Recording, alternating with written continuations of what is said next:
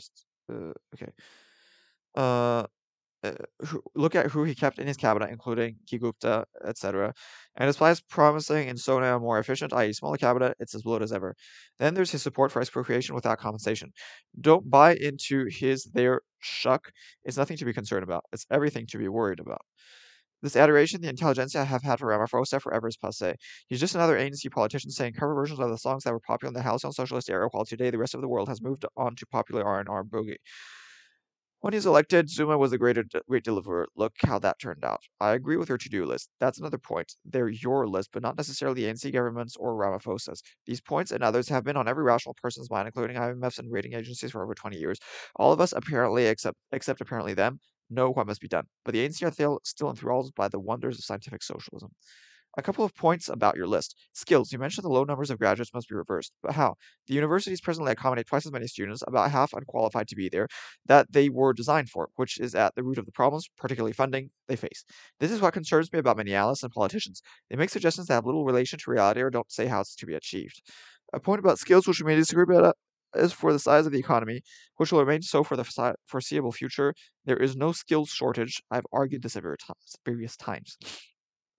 South Africa has a skills mismatch, which is defined as too many or too few skills needed at a specific point, which you allude to. You say WEF downgraded South Africa for low numbers of graduates. I believe you, but human research and capital, which include tertiary education enrollment, is only one of the seven pillars of global innovation. SA is performing at the level of development and lagging behind less resourced African countries like Rwanda and Kenya. Don't tell me Ramaphosa cannot act swiftly now across the board. You're listing other areas because he, of deals he made and the close calls his election was. He is president and no one is about to recall him. Look how Zuma, with half the ANC and the whole country sniping at him, ruled by edict, making unilateral decisions for university education was perhaps the least of the many disastrous ones. The party and the country had to try and clean up after. The entire spectrum of South Africa's social economic policy making and implementation urgent needs urgent overhauling and development, but it's unlikely to happen in our lifetime given that the ANC government believes in tinkering with what works and reverting to obsolete, ideologically pure models and modes of thinking. Okay.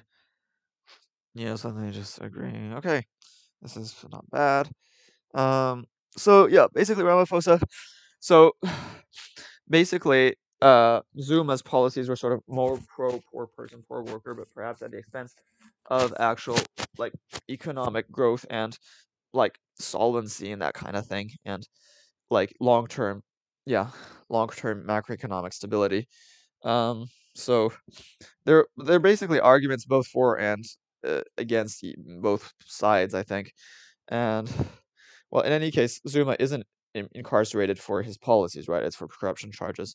So, like in any case, it doesn't really make sense to to be upset about his, uh, you know, the, the investigation to corruption. Um, because that that's a separate issue. Um, but I don't really know if there's any particular policy here to to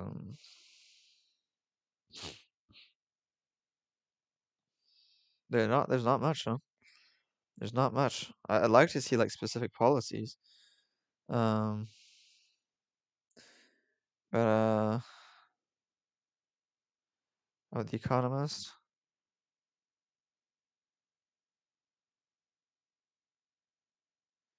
South Africa's an, an accountable ruling party. Okay.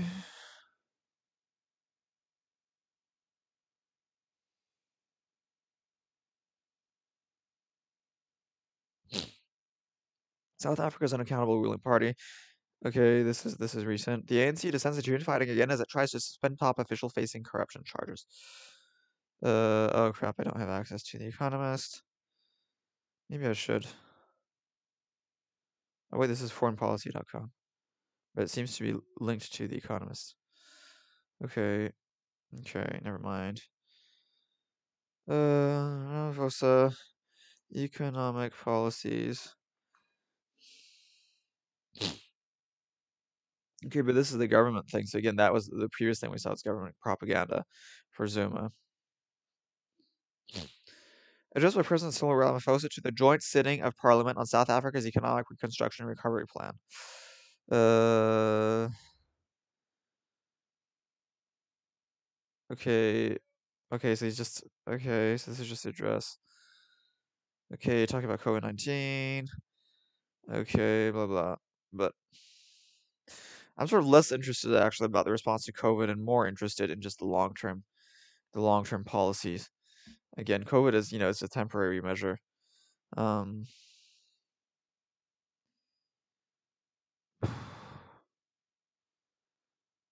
yeah. Okay, to create jobs, a hundred billion are whatever that is amounts to. Uh, for for jobs, jobs program. Um. Can ink video of this and you decide how it sounds. Okay, sure. https colon slash slash udo.be slash advnjubdjgc Hello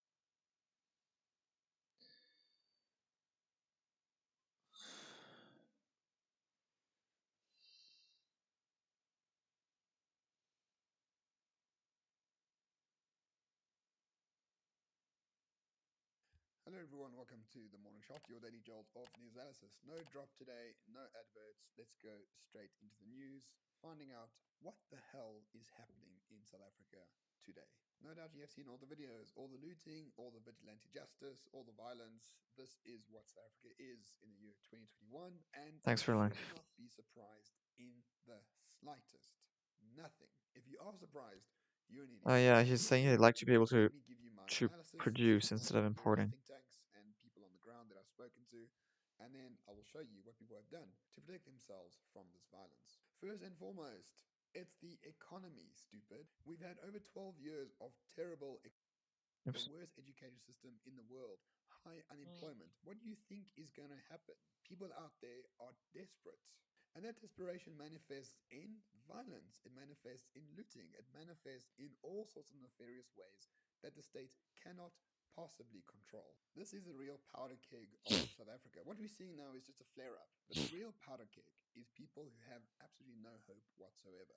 And this is not me defending the protests, I'm not defending the rioting, none of that shit. But if you don't understand why it's happening, you're not paying attention. One of the reasons, a major reason why it's happening, is because people just have no more hope anymore. This is not a protest about getting Jacob Zuma back in the office of the presidency. This is a protest of people who have nothing to lose. And the second big factor why Okay, so ending because, my friends, these women violence, in KZN and gender they're happening in inequality. Home of the two largest Zulu ethnic groups in this entire country. And the Zulus are screwed politically for a number of reasons. Number one, ANC support in KZN is down. It was at 54% in the last election. No doubt it will be below 50% in the next election. And that leaves a hell of a lot of votes up for grabs for whatever political party is able to stabilize that region. A huge factor in this is just the sheer tribalism, right? Zulus are nowhere politically. The ANC is letting them go. There is no Zulus in the top six of the ANC for the first time in many a year. And their figurehead, Jacob Zuma, is now in prison. Yeah. Say. And that's where much of the rioting was in KwaZulu Natal, which is where Zulus are from. marginalized, and the way you to marginalization is you make something completely ungovernable, and that is exactly what they are trying to do in KZN. There aren't any Zulus in the Northern Cape, that's why there are no protests in the Northern Cape. It is very simple to understand. Again, I'm not defending these people, I'm not defending the rioting, but you have to understand what is going on. And if you take those two flashpoints, the massive economic underperformance of South Africa and people who have nothing left to lose, along with this great ethnic anxiety, you get a flashpoint. And that flashpoint is exactly what we are seeing in South Africa today. But thankfully, these rogue elements are not getting away with it. Yesterday, I spoke to a member of SAPS in KZN. I will link that below. It has been on my channel for the past 12 hours. But if you missed it, I'll link it below. You can find out exactly what is going on on the ground in KZN through the eyes of a member of SAPS. But most importantly and more fundamentally, the neighborhood watchers are coming out in force and they are defending their own community from these predatory looters. The following clips may be disturbing to some viewers. No doubt this video will be demonetized, but I don't actually care. I think it's important for you to understand what is going on on the ground. So we'll start off with this clip based in Durham, which is to the north of Durban.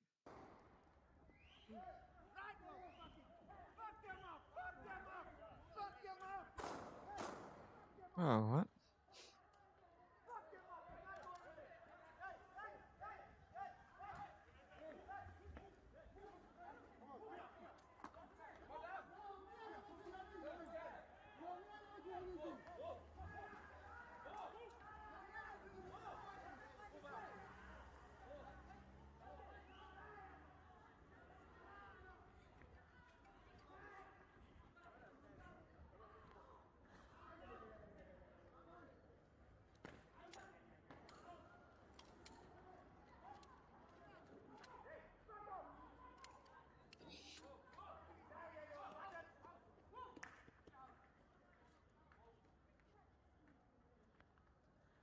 And this is exactly what I have been talking about for the past few years.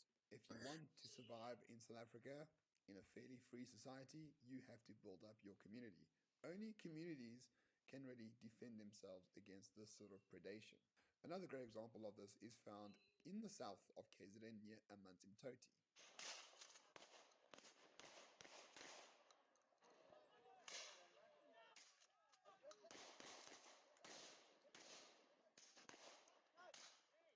What the? Don't waste your ammo. Wait, what? Who? stop. Let them come. What is? Who is who? Okay, let's go.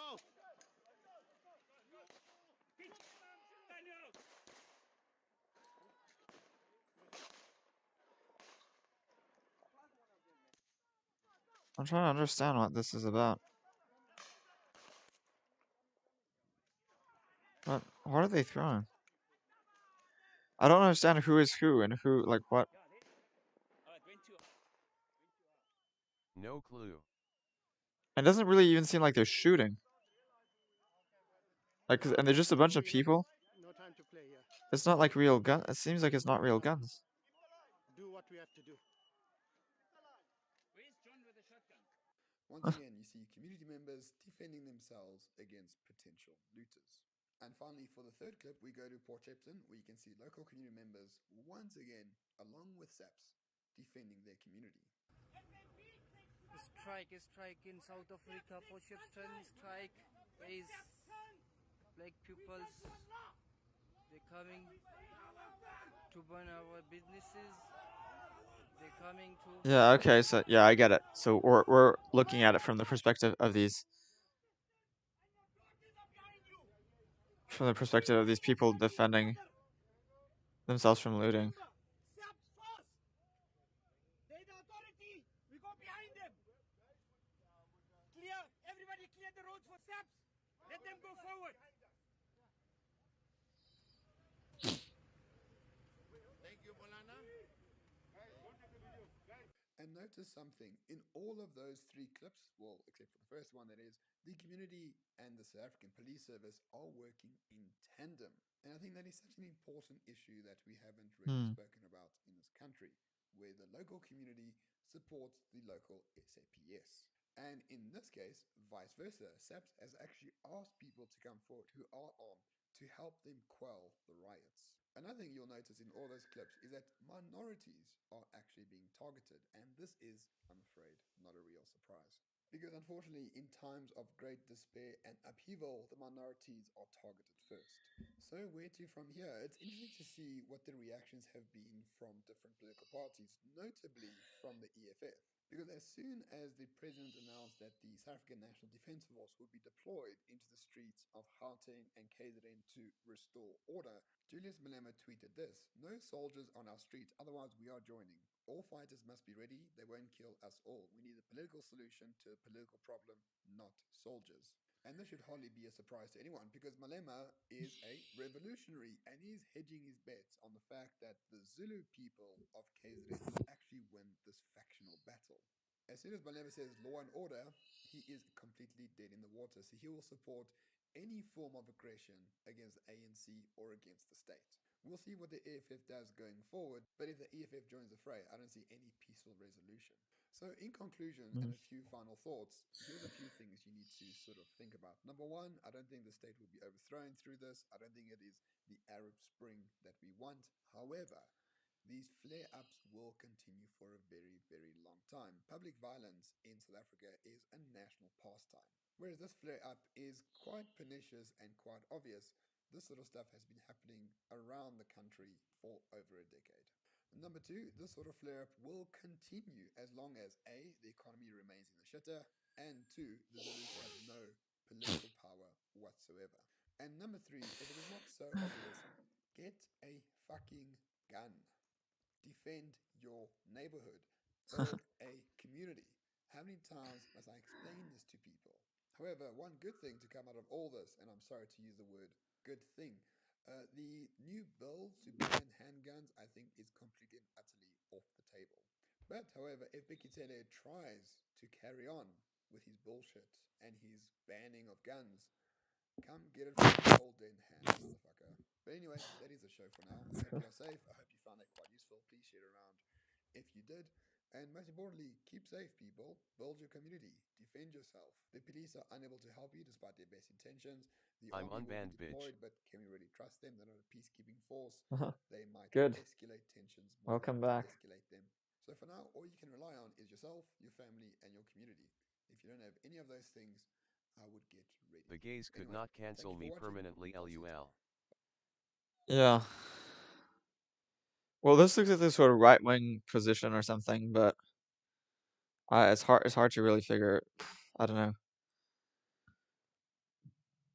But this is generally the problem: is that left wing policies they aim to help the poor, but they also hurt business.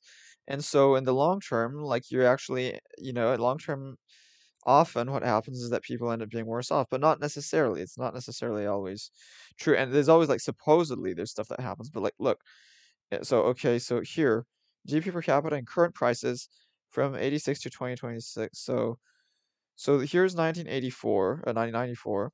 So it was going up, then it kind of went down, but then suddenly, I don't know what happened in 2002. Suddenly there's this huge growth up to 2011. And then it is uh, okay, so the past 10 years it's gone back down. Um so this this is apparently uh and this is percent of world average. Finland. Our government is very left leaning. Yeah, but I mean Finland's doing all right, but it's maybe not it's not necessarily the same kind of left.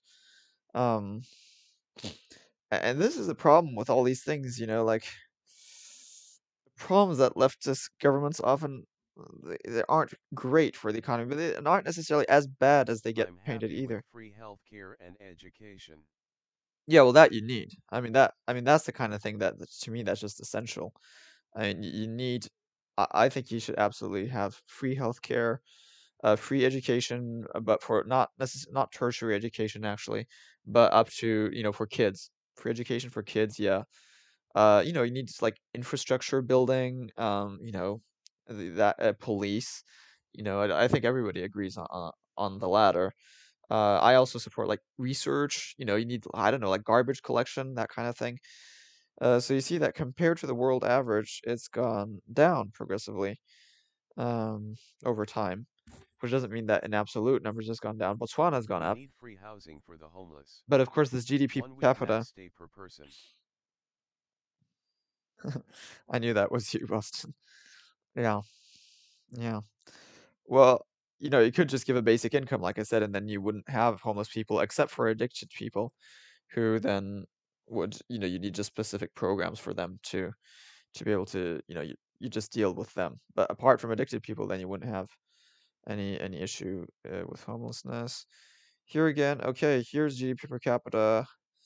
As we can see, it basically had gone down. Actually, here it looks like it went up.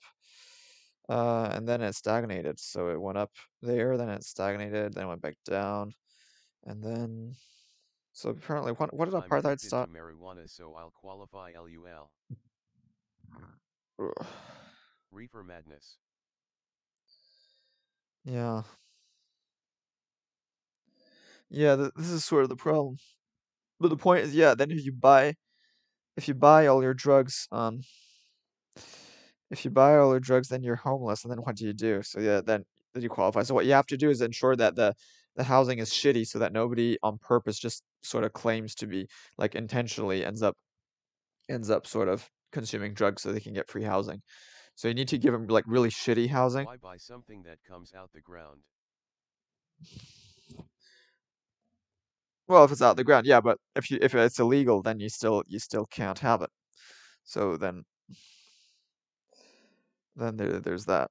And then and if and if you're not paying for it, then you're not losing money, which means that you don't need as housing. as growing celery. Yeah, but the point is that then then okay, so you're doing it sort of in, in hidden. Uh, but then that means that you need a housing, right? You, if you're homeless, you can't do it. So if you're okay, so if you got your own housing, then you can do it, sure. And in any case, if you then you won't be paying for it, which means that you will have the money to have your own place. Um, okay, the idea of a middle income trap is now over a decade old and continues to be applied to growth paths which have not been self-sustaining. With the bulk of emerging markets now approaching middle You income don't want a status, home to grow outdoors. well, kind of, because then it gets seen, and if it's illegal, then it gets destroyed. And given the reality of slower I growth would for many build a countries, shack. yeah, but where? Like, then there's going to be like an illegal building. People are going to like inspect it, you know. And the policy recommendations that currently list exist for overcoming this problem. Um, is the middle income trap still a relevant framework? Using reference to the BRICS countries, the key finding of this analysis is that middle income trap conceptualization is of little value added as fundamentals still matter, especially in relation to macroeconomic stability. By the river to irrigate water to plants. Yeah, but then, you know, people there's like, you know, officials, government officials that will sometimes go there and they'll like see that you've got like some pot behind the ri- by the river and they'll get rid of it. Similar note that quantity quality institutions are necessary both political and economic, including smaller size of government and property rights. The trap as currently formulated is thus nothing don't know shit, as it repackages some familiar structural issues while avoiding other crucial ones. Um okay.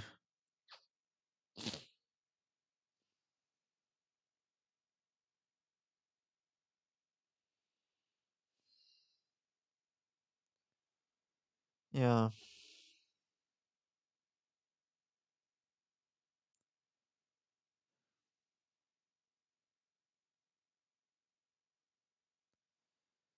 So say there's been plateaus. I don't know if you can read this. Can can you read? Can you read what I'm reading? Here, world GDP per capita in constant uh, dollars. See, it's just been increasing linearly. This is pretty cool. And like Latin America hasn't grown, Wheat is from the I think. Oh yeah, it has that. Anvil is not. But sub-Saharan Africa, sub-Saharan Africa really hasn't grown. Um, East Asian Pacific. Note how East Asian Pacific has grown well, and it was just above sub-Saharan Africa, and now it's overtaken uh, Middle East and North Africa, and and even Latin America and Caribbean. Um,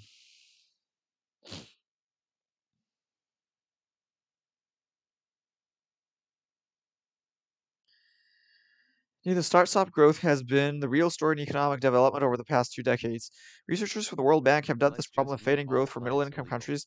ex- eh, Included tomatoes. Yeah, and including rice, the evil rice that makes everybody go nuts.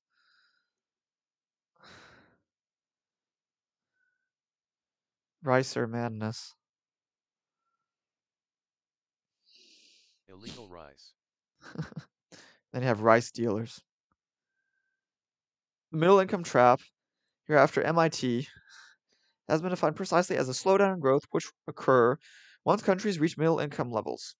In the words of the World Bank, after exceeding the poverty trap, uh, wait, am I recording this? Okay, this is interesting. After exceeding the poverty trap of US dollars 1,000 GDP per capita, many emerging market countries head rapidly to the takeoff stage of US 3,000 per capita. Wait. Okay, so there's a 1,000 GDP per capita. Okay. This is first. This is the first poverty trap. Okay, many emerging market countries countries head rapidly to the takeoff stage of US 3,000 per capita, but as they near this figure, they experience long-term economic stagnation, divisions between rich and poor become serious, corruption is rampant, and they fall into the trap. This convention has been picked up by others to utilize boundaries of the trap. As long as a country stays in the middle income categories category, all the way from a GNI per capita of 1,000 to 12,000, it is presumed to have reached middle income, and it is only when a country exceeds this threshold and becomes high income that is considered to have escaped the middle income trap. Okay, well, with my thing, I would literally have uh, a GDP per capita that would exceed this with my program of global basic income, so all countries would have escaped this trap. The MIT literature, with the benefit of slightly over 10 years of work, has made heavy reference to Latin America's experience in the 1980s in the bulk of empirical observations, but other recent work has focused on the specific problem of growth slowdowns from formerly high performing countries such as Baltic states, or the role of middle class or technology in escaping it. Indeed, the MIT is perhaps more interesting because so few countries have escaped it. Of 101 middle income economies in 1960, only 13 became high income by 2008. Equatorial Guinea, okay, that's such a joke, Equatorial Guinea, like it's not a high income. Like literally, there's just a few rich people who get all the money and everybody else is still poor. Then Greece, Hong Kong, SAR, Ireland, Israel, Japan, Mauritius, Portugal, Puerto Rico, the Republic of Korea, Singapore, Spain, and Taiwan. But it's ridiculous that they put Equatorial Guinea. That's just the vast experience is like Botswana also. Like they say it's like now it's a rich country, but like no. The vast experience outside of the select group was a stagnation. Latin America, for instance, seeing income per capita relative to the United States falling almost continuously from 1960 to 2005, especially after the debt crises of the early 1980s. According to Gill and Kharas, the economist credited with coining the phrase middle income trap, the only part of the world that has most notably defied this tendency is East Asia. The policy prescriptions and why? Why is East Asia doing so well? The policy prescriptions offered in support of breaking out of the trap have also varied according to the region and or the institution during the examination. Although much research has tended towards recommending strategic, proactive, and coherent government policies for the advancement of social and firm level capa- capabilities. This has been echoed by research from the World Bank that attempts to identify a framework that can guide policymakers on how to identify new industries consistent with the country's latest compared, latent comparative advantage. This research also notes that government must play an active role in facilitating industrial upgrading and infrastructure improvements. In relation to the BRICS countries of Brazil, Russia, India, China, and South Africa, the middle income trap and its policy prescriptions have taken on extra importance of late as growth slowdowns have become more persistent across these countries. Not surprisingly, China, the biggest economy by far of the grouping, has been the prime target of investigation in relation to the MIT, with many authors attempting to attribute China's recent slowdown and prospect of future slowdowns to the conditions associated with the trap. Indeed, China has pushed out Latin America as the new focus for the middle income trap literature, with papers such as Eichengreen et al. pointing out the human gap, capital gap which China possesses and recommending larger, better targeted government spending. Given the experience of China and the reality facing the rest of the BRICS, the purpose of this paper is to examine both the conceptual underpinnings of the middle income trap and its policy prescriptions in relation to the BRICS countries. This analysis casts a critical eye towards the idea of a middle income trap as a new or even useful concept in international development. Using case studies from the BRICS countries themselves, I show instead that the effects commonly attributed to the MIT are nothing more than old wine in new bottles, predicted by standard growth and economic theory. More importantly, these issues do not require innovative, innovative, or new structural approaches to overcome them, but a reliance on two simple fundamentals prudent macroeconomic policy and fostering effective economic institutions. Indeed, the danger of the MIT literature is that it purports to other offer countries a way to leapfrog these prerequisites. Examining these two dimensions in the context of the BRICS countries, we will be able to distill effective recommendations for policymakers to avoid the MIT. Okay, so a brief look at the concept. So let's see. So this is just so that we are aware of this thing. Okay, this is probably gonna be too long to read every the whole thing. Uh, okay. Let's see.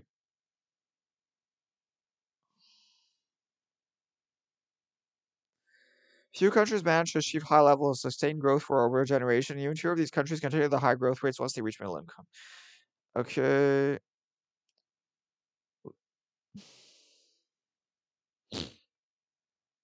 Okay. So, as a first step, Felipe calculated that was necessary for a country to become high income. The paper showed that a country that becomes lower middle income has to attain an average growth rate of per capita income of at least 4.7 per annum to reach upper middle income, while a country that thus attains this level has to show an additional average growth rate of per capita income of at least 3.5% per annum to graduate to high income. Where the trap comes in is, as Gill and Kharas predicted, where growth rates do not equal the escape velocity needed to break free of the current level of development and grow towards high income status. Indeed, evidence that has been accumulating the so-called growth slowdown literature that these rates of growth have generally not been achieved in emerging markets, since the trap and countries that once did grow at a rapid pace have stalled out within the middle income bound. It is here that much recent research has been devoted to explaining this phenomenon. Eichengreen and al. examined the consequences of possible diminishing growth rate in China by examining other recent episodes of growth slowdowns and found that on average high growth rates came to an end at a per capita GDP of 16,740 for countries in their sample, dropping from 5 or 6 per annum to about 2.1. The theorized reason for the slowdown is that poorer countries are characterized by a large pool of unskilled labor that, as part of the first wave of growth, is transferred from subsistence level occupations to more modern manufacturing or service activities that do not require much upgrading of these workers' skills, but nonetheless employ, enjoy, employ higher levels of capital and embedded technology such as heavy industry. Under this conception of growth, poor countries are able to utilize existing technologies that have already been created in richer countries to aid and abet their own growth.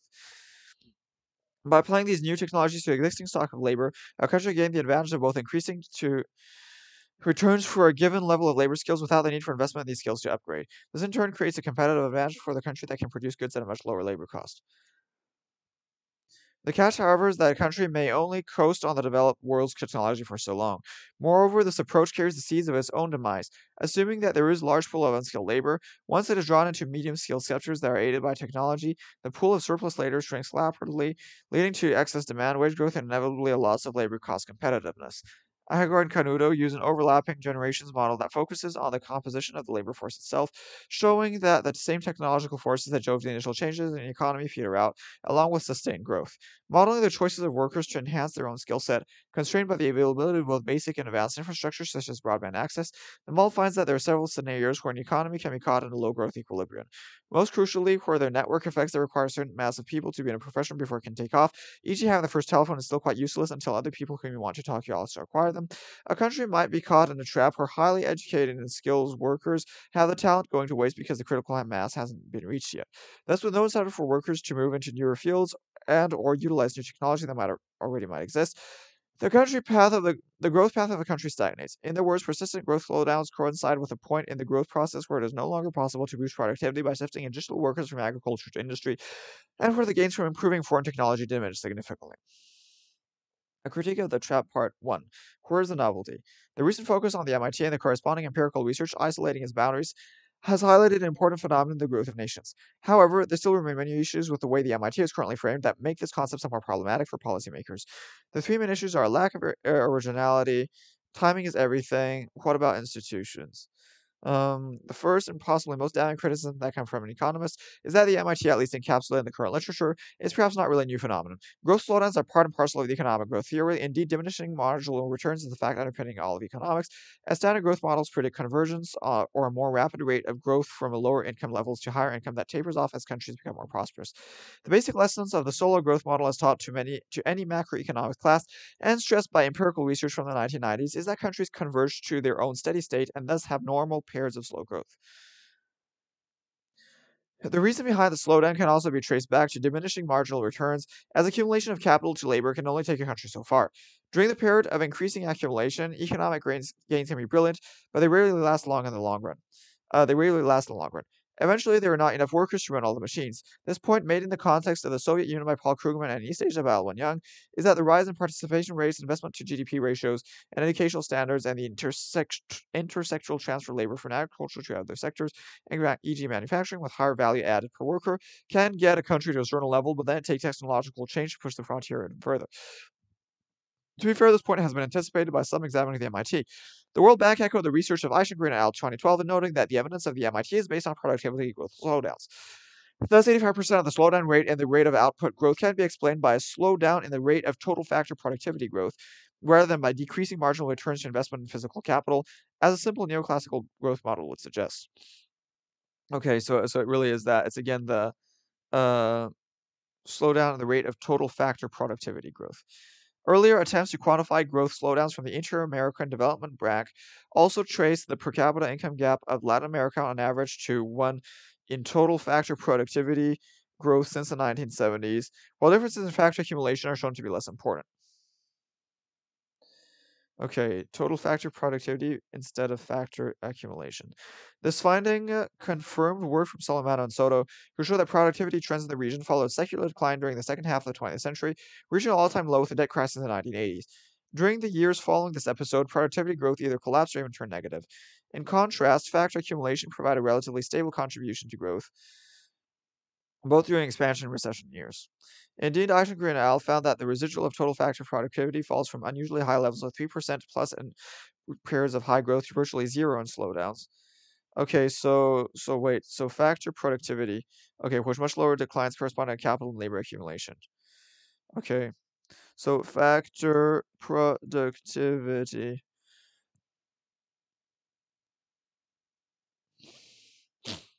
Okay, it is usually measured as the ratio of aggregate output, e.g. GDP, to aggregate inputs. Under some simplifying assumptions about produ the production technology, growth in total factor productivity becomes a portion of growth in output not explained by growth in traditionally measured inputs of labor and capital used in production. TFP is calculated by dividing output by the weighted geometric average of labor and capital input, with a standard weighting of 0.7 for labor and 0.3 for capital. Hi, hi, Peter Parker. So I'm just it's this is not very fun. I'm I'm sort of looking at sort of unfun economic stuff. You might be the only person here because nobody else has commented for quite some time.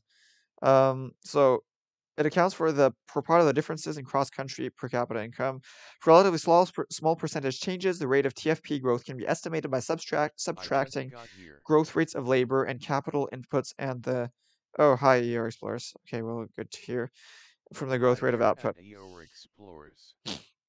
So if it'd be good if we can actually figure out how how this So works. not just at Peter Um, Parker 371 Haya 2, but the equation bel equation below is often used to represent total output as a function of total factor productivity, capital input. So A is total factor product. So output is Y output. this is, Factor productivity is A capital. So I'm just looking at economics basically. Um, I'm just sort of looking at trying to understand like why we're basically looking at South Africa and then we're we're looking at why like growth is like was has been stagnating in South Africa and then there's a theory about middle income trap and so then there's an article sort of criticizing the concept of middle income trap and so this is what we're sort of looking at here uh, so total factor productivity A, capital input input K, labor input. Okay, so yeah, and the two inputs, so it's A times K, A times LB, and so wait, and the two inputs respective shares of output, A, alpha and beta, sorry, are the share of contribution for K and L respectively. As usual for equations of this form, an increase in either A, K, or L will lead to an increase in output. Um, okay. Okay, for an average country, the TFP accounts for 60% of growth of output per worker. Okay, so, hmm. So then there's some criticisms. Lacking meaningful uh, units of measurement. The units of the quantities in the Cobb-Douglas equation are y, wait, L, but we don't even know what y. Oh wait, or are that yeah, widgets. just widgets. read your stream title. I didn't actually support Trump in the election. I really don't like the guy, but I would have preferred a second Trump term over Oh yeah. identity politics, just because I think identity politics is so bad. So, that makes me demonic. Well, in pra you know, in practice, you know, the, the point is that you're you're failing to properly understand that basically the Democratic Party, if you vote for the Democratic Party, you're not voting all that much for identity politics. You're voting for ec mostly economic policies that will be, uh, you know, and and government policies that mostly have nothing to do with ec uh, identity politics, but will that will definitely help out the average person. I mean, if you if you look at the Trump uh, sort of administration, the Trump presidency, hi- his policies were just in eh, were, were just terrible. They're just anti-environmental and and and always he just kind of uh, you know he did everything he could to damage the environment in, in every way possible. He he did everything he could to hurt like gay and trans people in every way possible. Um, so like it's not about identity politics. It's just about making life better for people. If you look, I mean, I looked at this yesterday, and this is what gave me the, the idea to write this title here, is that Trump is just it's just horrible. You look at the Trump presidency, like this, like everything he did was, was like bad. He, I mean, even the, like the fucking wall. Like, okay, you can have your opinion or not about immigration, but like, uh, like you don't need to. I, I don't like the idea of building walls. Okay, I just I don't like even just like conceptually, visually. Um, and like literally if these people are immigrating is because they're super poor which means that literally the, like literally they, they should be richer. Uh, the us interfered with them a lot for a long time. In any case these countries are pretty small so literally the us can could very easily afford to just let all Maybe these people in. take was yeah. but I don't like the term demonic, I have to say. Well, the point is that uh, like uh, you know he, he also wants to limit healthcare to people. He he like separated little kids from their families. Like the point is that in practice it's demonic. You, you maybe your intentions aren't demonic, but in practice it's it is demonic because Trump Trump his his actions are demonic. This is what I'm saying because they're they're they're very evil. Okay, Trump is a really bad guy. Trump is a really bad guy. He's done really bad things um, like his entire policies are bad. I'm not saying Biden is great, but in comparison to Trump, he's a saint. Okay, in comparison to Trump, he's a saint. Do you want to go? I would agree. Do you want to go Trump back? is a bad guy. Do, do, do, do you want to go? Okay, wait, no. Trump, Trump presidency. This is already what I was looking yesterday, but I'll I'll go back. So th- thank you for saying that. I don't like identity politics either, but voting for Democrats is not really voting for identity politics. I mean, sure, most of the Democrats support identity politics, but by and large, like they're not going to do much about it, you know? It's not like you sort of in Congress they're saying let's vote for more identity politics, you know? There, there's not all that much. Like if you look at most of the policies and stuff that's being discussed, it's not identity politics. Like the the whole thing is like just a distraction. You see what I mean? Like the whole After what happened after the election, especially at January 6th, I would want Trump anymore. Look, he imposed tariffs on solar panels, right? And meanwhile, he wanted to subsidize coal more. So he just wanted to keep he'd want to keep producing more fossil fuels. He hurt I the the solar panel. Trump. So yeah, so I, I'm glad to hear that. But this is what I'm this is what I'm telling you is that um um he did he he cut taxes I'm for the rich. my element with this Wikipedia page's attempt to mathematically model such a complex system. Conversation is completely different by the time I could finish this thought. Oh yeah, okay. Yeah, um, me, me too. Me too. Uh, uh, obviously, th- these economic stuff is kind of is kind of hard to to understand. Uh, but I, I, yeah, I I know. Um, yeah, Puerto Rico, he failed to provide proper sort of uh, prompt relief. Um, capital punishment, the most federal executions ever. He did some pardons to people, but it was just for his friends. Uh, drug policy, uh, more. Uh, he he. The administration ordered federal prosecutors to seek maximum sentencing for drug offenses. Um, here, pardon or commuted the sentences of 237. Most of these pardoned had per- personal political connections to Trump. Um, let's see again, cracking down on crime, which again I'm pr- I I am. Uh, was pro gay marriage in the year 2000. Obama spoke against it while running for president in 2008. yeah, I know, I know. Yeah, that was ridiculous. Trump and the Republican billionaires cut the taxes for themselves. That this was illegal still triggers me. Look, I, I I know Trump was pr- like the point is that now Trump is just trying to to pander to his his con- current constituents. Um, like you know, I don't think he, Trump he much cares necessarily about these things, but he just does all the nasty stuff that the the Republicans want. Plus, the, the real problem is not Trump. The real problem is Trump voters. That I mean, really, that 2022. the real problem is is Trump voters. I, I want you to demonstrate. You know, if you don't know what to do, make a sign saying no Trump voters. Stop stop voting for Trump and stop like stop supporting Trump. Stop supporting the Republican Party. And stop supporting identity politics, which is racist and which is not progressive. Um, like agriculture, so he subsidized agriculture. I don't support that because then that means that the poor countries aren't competitive and they can't even sell their own products. Uh, here he made it easier. He uh, reversed a rule that made it easier for aggrieved consumers to pursue class actions against banks. Um, so for instance, you know, uh, he uh, uh, what, what was it? He scrapped a proposed rule from the Obama administration that air, airlines disclose baggage fees. Um, like literally, literally, like it, it just it, just one terrible thing after another, one terrible thing after another. Um, like oh, and what was it? There was like one one good thing is like his admin. vote for candidates on the basis that they're lying and won't want to try to do what they say they will. I can understand that strategy, but I'm nauseated by it. What? What what what what do you what what are you talking about? Air Explorers, I I I'm not understanding. Yeah, uh, no, at the time, if he was tro yeah, he was pro-gay marriage at the time. At the time, it would have made sense to vote for Trump. At the and even even in 2016, he said he would he said he would, um, like, he would support gay marriage and stuff. But at the same time, he was he was, you know, engaging all sorts of nasty, like, you know, xenophobic rhetoric and stuff. So you could already tell that he would be an asshole, you know? Um and, like, so yeah. Immigration, so he's got his wall thing. He he sort of you know, consistently demonized immigrants. He consistently you know, we there's a cla you know, famous family separation thing. But to me, Um it's important to grant other people a different Parents point of view, e.g. it's completely alright if we disagree on things, and I don't know if I'm right on my opinions, chances are good on many things, but I do have a problem with the word demonic. Well, that's good that you have a problem. It makes you it makes you sort of, uh, you know, it's it's just it's an irritant, you know? It's like it makes you wanna do something. It's like an oysters create a pearl when they've got a piece of sand in them and they're not happy about it. Like, this is this is good, you know? It it makes you it it it makes you sort of wanna to to to question So, other people and like yourself. clickbait?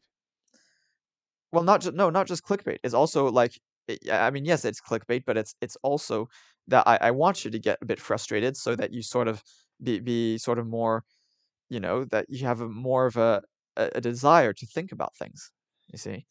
Um, this is what I mean. Um, parents were routinely charged with misdemeanor and jailed. The children were placed in separate detention centers with no established procedure to track them or reunite them with their parent after they had served time for their offense. ago Generally, only a few hours or they days. support identity politics. Yeah. I feel that term is outdated by about 10 years now, haven't heard it in a few, but that Democrats won't act on it? Well, the uh, what I mean is I disagree on the demonic thing. I might be wrong on my political opinions, but I reject the notion that I'm demonic. Well, like, separating little kids and with having without having any sort of plan to to reunite them, uh, that is that is, like, super demonic. I I I'm sorry. Like, I'm I'm not sorry. Like, literally, y y like, y like, literally, that is that is terrible, okay? That is this is terrible. If if only for that, even if the rest was was okay, just that already is is terrible. By November 2020, the parents of 666 children see the number of the devil. No, okay, I'm I'm joking, but yeah, it still had not been found. Uh, but they they pre presumably they did that on purpose, but, like, I mean, they Sorry, presumably I Wikipedia did. forgot the question I really originally wanted to ask. What is a demon? Just a bad person. Basically, a person who intentionally does uh, and causes suffering to other people. I mean, that's kind of in the Bible, right? The demons are there to, like, make you suffer in hell and stuff. I I'd say a demon is just somebody who intentionally makes other people suffer just out of sadism, and I would or just out of even just complete callousness. Uh, and and Trump is that, and Trump voters are that. Um, so so yes. Uh, let's know what a sadist is. Yeah. Yeah, so Trump is demonic, and I never supported all he did. I just preferred him over identity politics, but that doesn't make me demonic. the my point is that voting for Trump, you're voting for all those horrible policies. If you vote for the Democrats, you're not really voting for identity politics. You're voting for the policies that the Democrats vote in, which by and large have nothing to do with identity politics and largely have to do with just making life better for everyone. Th this is this is my point. Um, yeah, they they all there also is identity politics sort of rhetoric, but by and large by and large, their policies are not identity politics. You you you wanna see a presidency of Well, of Biden? What voting for Biden you also vote for identity politics, and those things can be evil too. Yeah, but it's not not it's it's at least it's ki it's wrong, but it's in a sort of well-meaning way, as opposed to, like, separating children, which is wrong in just a completely unwell-meaning way. Um, like, Biden, what did he do? First, he he he rejoined Paris Accords. He stopped the uh, Keystone drilling in Alaska. So he sort of and you know he's proposed all sorts of you know pro-environmental stuff. He's like supported he supported infrastructure building plans. You know for basically uh, you know shifting towards a cleaner energy production uh, and infrastructure sort of revamping, which is all like good stuff. Uh, and there, he, he, like he wanted to get out of Afghanistan. Of course, uh, Trump kind of wanted that too, but like we're doing that under Biden uh, for finally completely fin- finalizing the the pullout of Afghanistan. He, uh, you know, he's much more in favor of like helping, you know, like and you know combat discrimination against like gay and trans people, etc. Um, you know, he reinstated the the authorization of uh, the, of trans people to serve in the military, for instance, uh, which is you know which is not much of a thing really, but symbolic symbolically, I think it's important. Uh, what did what did he do? There, um, I'm presumably, yeah, he he offered aid to Central Americas to limit the the root causes of migration, right? Which I think is a good thing. He offered like a way to, to a pathway for citizenship for illegal people in the United States.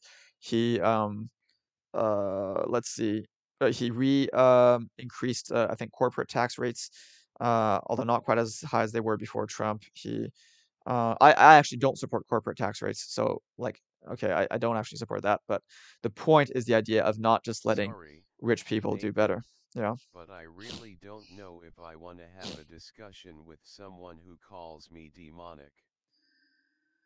Well, I don't want to have a discussion with somebody who thinks it's okay to permanently separate children from their parents.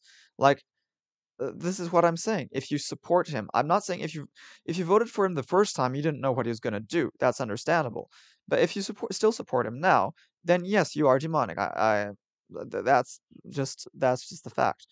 Um, if you just voted for him because you didn't really know much, uh, and you never didn't know said I'm okay with separating children. Okay, well then you're maybe not demonic. My point, this is my my point. My point is if you support like Trump and everything he's done, then then that makes you a bad person. If you just voted for him originally without without sort of knowing what you do and just because you're sort of pissed off with identity politics, that's a different matter. Okay. Um, but I, I, I clearly said if you support Trump, you're demonic. I didn't say if you support some of Trump's policies, you're demonic. Okay. Uh, But if you support Trump overall, yes, then, then that is not good because Trump is not a good person. He has done I've really. never supported anything anyone's ever done, including myself. See, rolled back numerous LGBT protections here.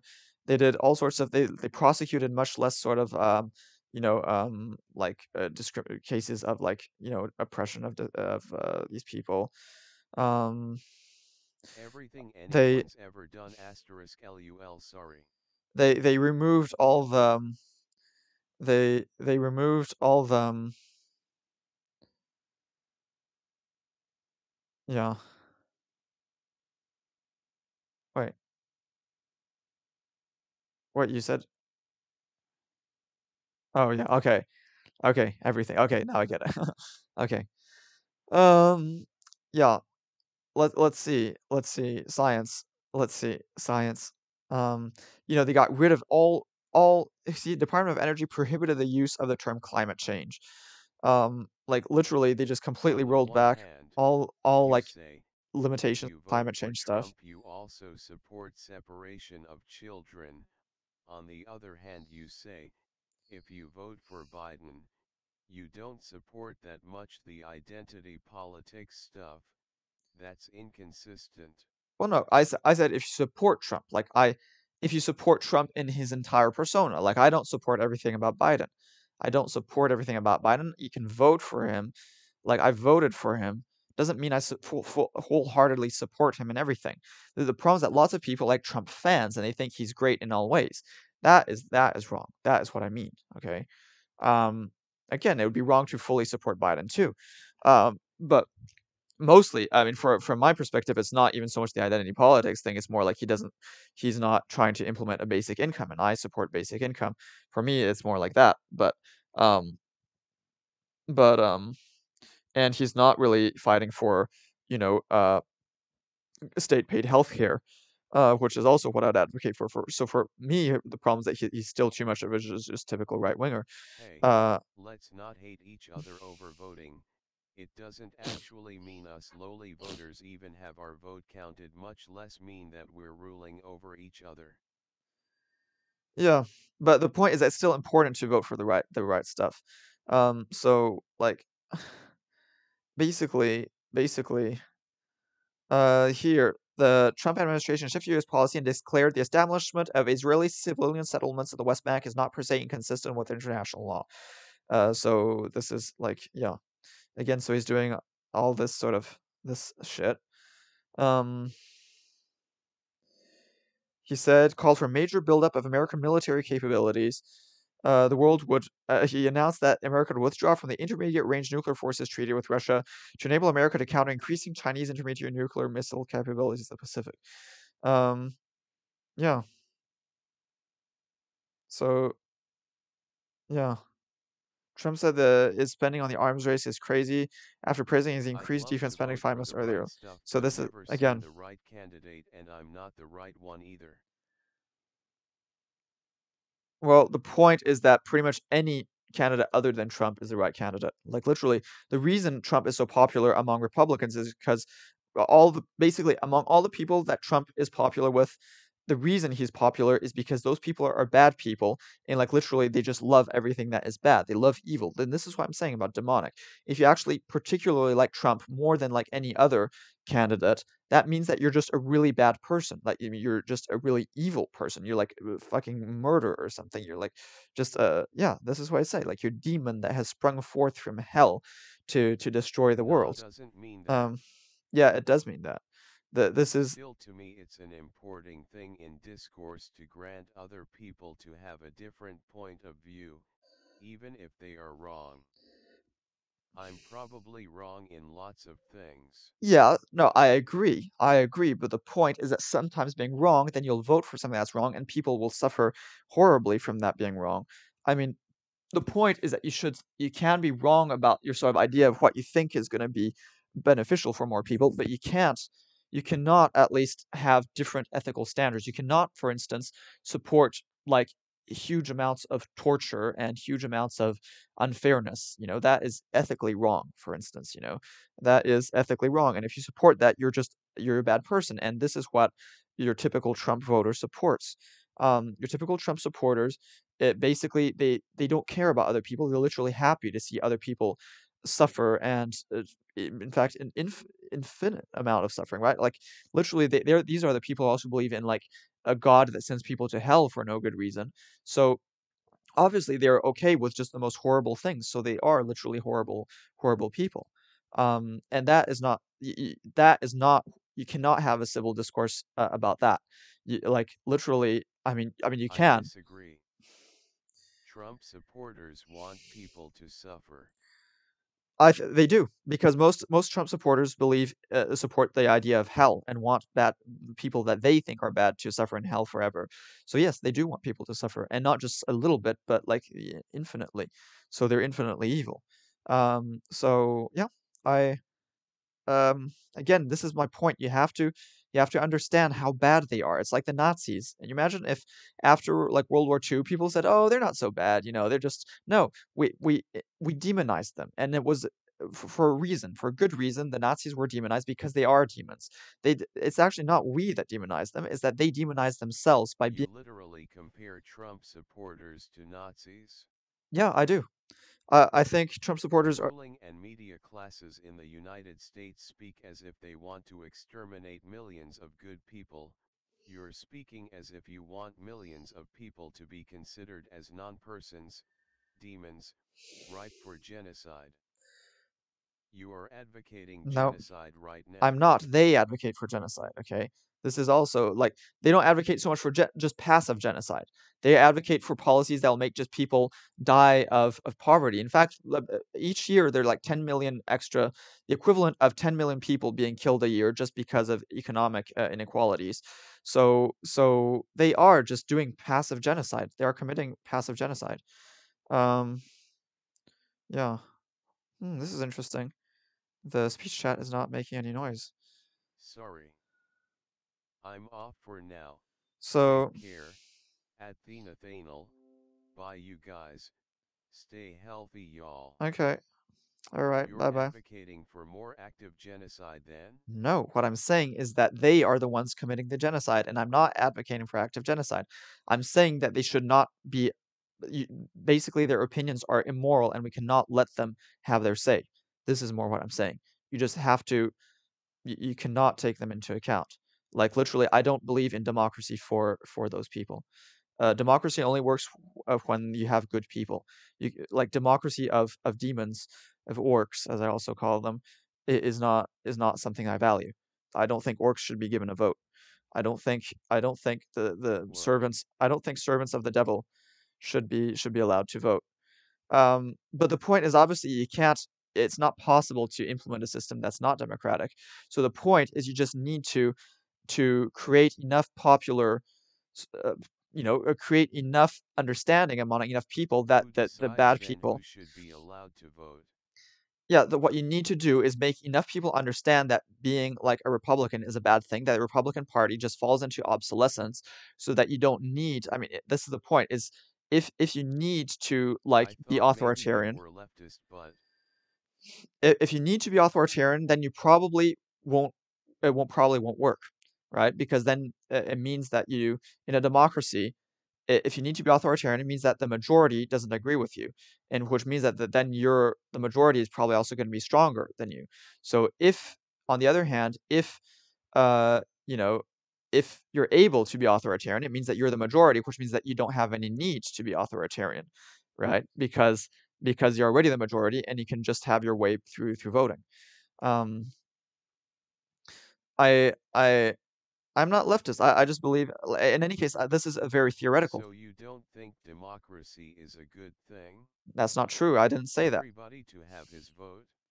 I d I didn't say that. I said in prac in in theory in theory, if we could just have the best person to just dictate everything to uh, for for now, that would be even the best, but, um, the problem is how how do you do that? So, no, a democracy is obviously the best system, but the problem is that democracy works very poorly if the majority of the population people shouldn't have their vote? Well, the the point is that yeah, I mean, the point is that democracy doesn't work well when you have evil people. When a majority of the people are evil, then it like, democracy doesn't work well, so you you're just you're kind of stuck, right? Because you're kind of stuck. That there's no there's no ideal solution when Who decides who is evil and who's not? Well, that is the problem, is that the evil people won't agree with their characterization of being evil. is just not Um making sense for me, but I'm up late. Uh, yeah, uh uh, my point is that there there are better people than others, but the evil people won't recognize it, and if the evil people are a majority, then they they'll probably also be more powerful, and so in practice, you're not gonna manage to to impose anything, and, uh, so this is not really gonna work. So this is why what you have to do in practice is is just make the evil people understand that they're evil and make them no longer be evil. You make them you make them repent and change their ways. Uh, this is this is what what needs to be done, and th this is what I I would hope to see happen, is that they just recognize that, uh, they're evil and and I stop don't separate people into categories as evil and good.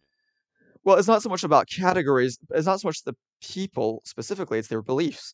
It's that they should drop their evil beliefs, is that you have good good beliefs and evil beliefs, and if you hold evil beliefs, well, you're evil. Then if you drop those evil beliefs, then you're no longer evil, uh, and then you're good.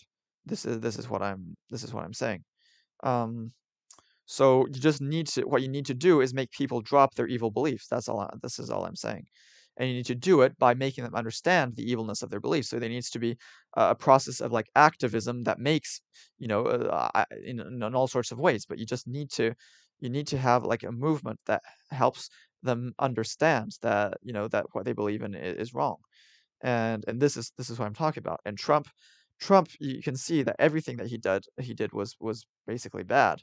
Um, like, okay, this Wikipedia probably is somewhat biased, uh, yeah, uh, but it's probably not mentioning the like, the good things, um, uh, uh, of the Trump presidency, but, like, the point is that what's an evil belief and what's an acceptable belief?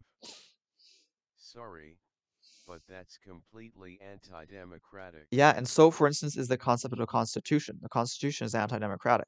The point is that there's some fundamental values that are good and not. If you don't believe if you don't believe in absolute values, then that's moral relativism, and moral relativism is just idiotic because it means that you literally can justify anything. So there are absolute ethical principles. One is the limitation of suffering. That's the number one ethical principle is the utilitarian principle of minimizing suffering, of maximizing well-being. That is the fundamental ethical principle, and then it should be done, of course, in a fair fashion. So uh, sort of relatively uh, you know, in an equal way as much as possible, you should try to minimize suffering and maximize well-being. And, and then there's a principle of autonomy, so that people should be sort of allowed to do what they want to do if it doesn't interfere with those other principles, um, or with any uh, in, with those principles for anyone else. Like, uh, you know, as long as you don't hurt other people, you should be free to do whatever you want. So those are the, the fundamental ethical principles. If you, there you know, if they're decisions that obviously violate those principles, then those are wrong decisions and those are evil. Um, so like th- th- that that should be pretty obvious, right?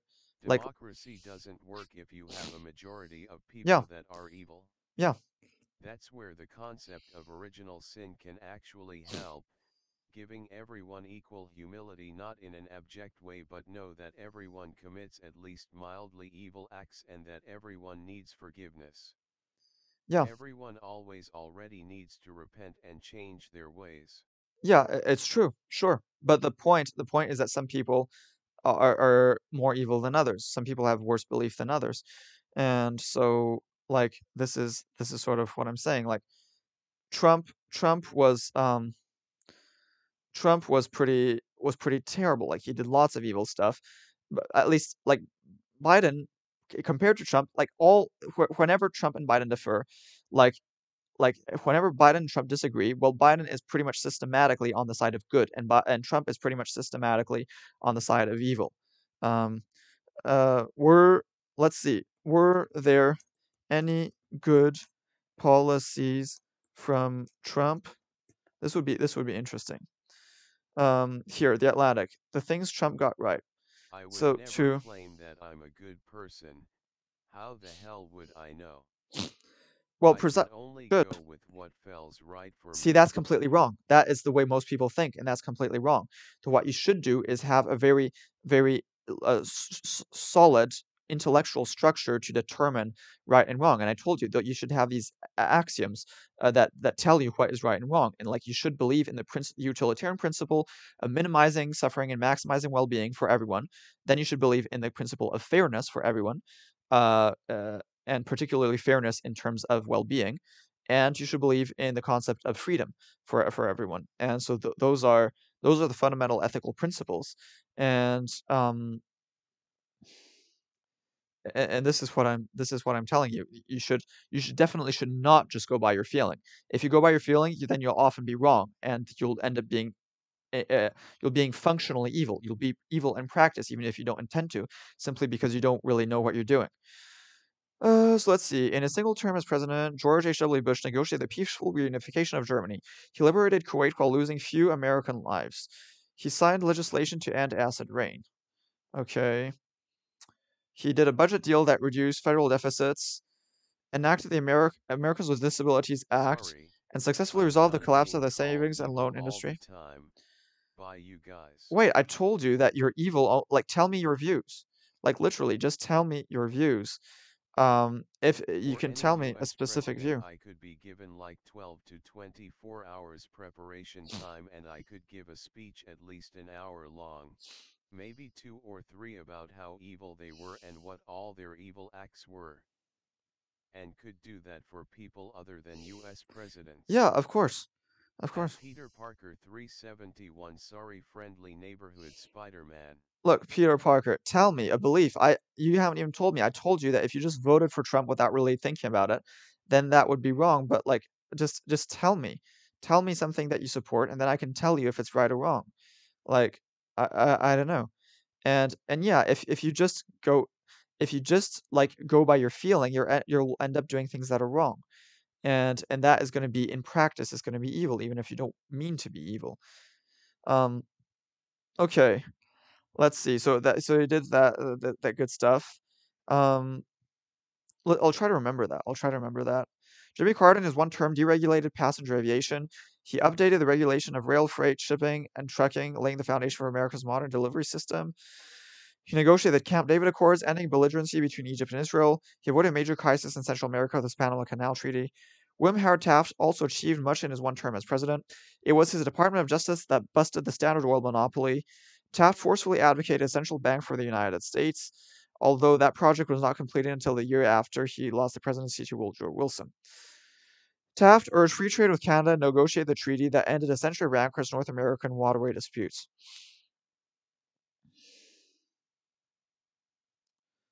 Yeah. To say the least, Donald Trump is not a president in the league of Bush, Carter, or even Taft. Few presidents have left office with so little accomplished, impeached, and disgraced. Trump took a lot of credit for the economic growth of his first three years, but the economy was already growing strongly when he took office. Yeah, that was that was my point. Is that that was like the good thing about the Trump presidency, but like it was already growing. Pick a measure, almost any measure, and the trajectory of his first three years was identical to that of Barack Obama's final three years. Unemployment, manufacturing, wages, you name it. And whereas Obama passed a successful economy to Trump, Trump bequeaths a wreck to his successor. Okay, but it's true that there's COVID. Um, the Trump tax cut promised to accelerate long term growth by stimulating business investment. That promise was broken. Business investment did not rise. The Trump tax cut imposed indefinite trillion dollar deficits upon the United States even before the pandemic crisis, while conferring little, if any, benefit on economic output.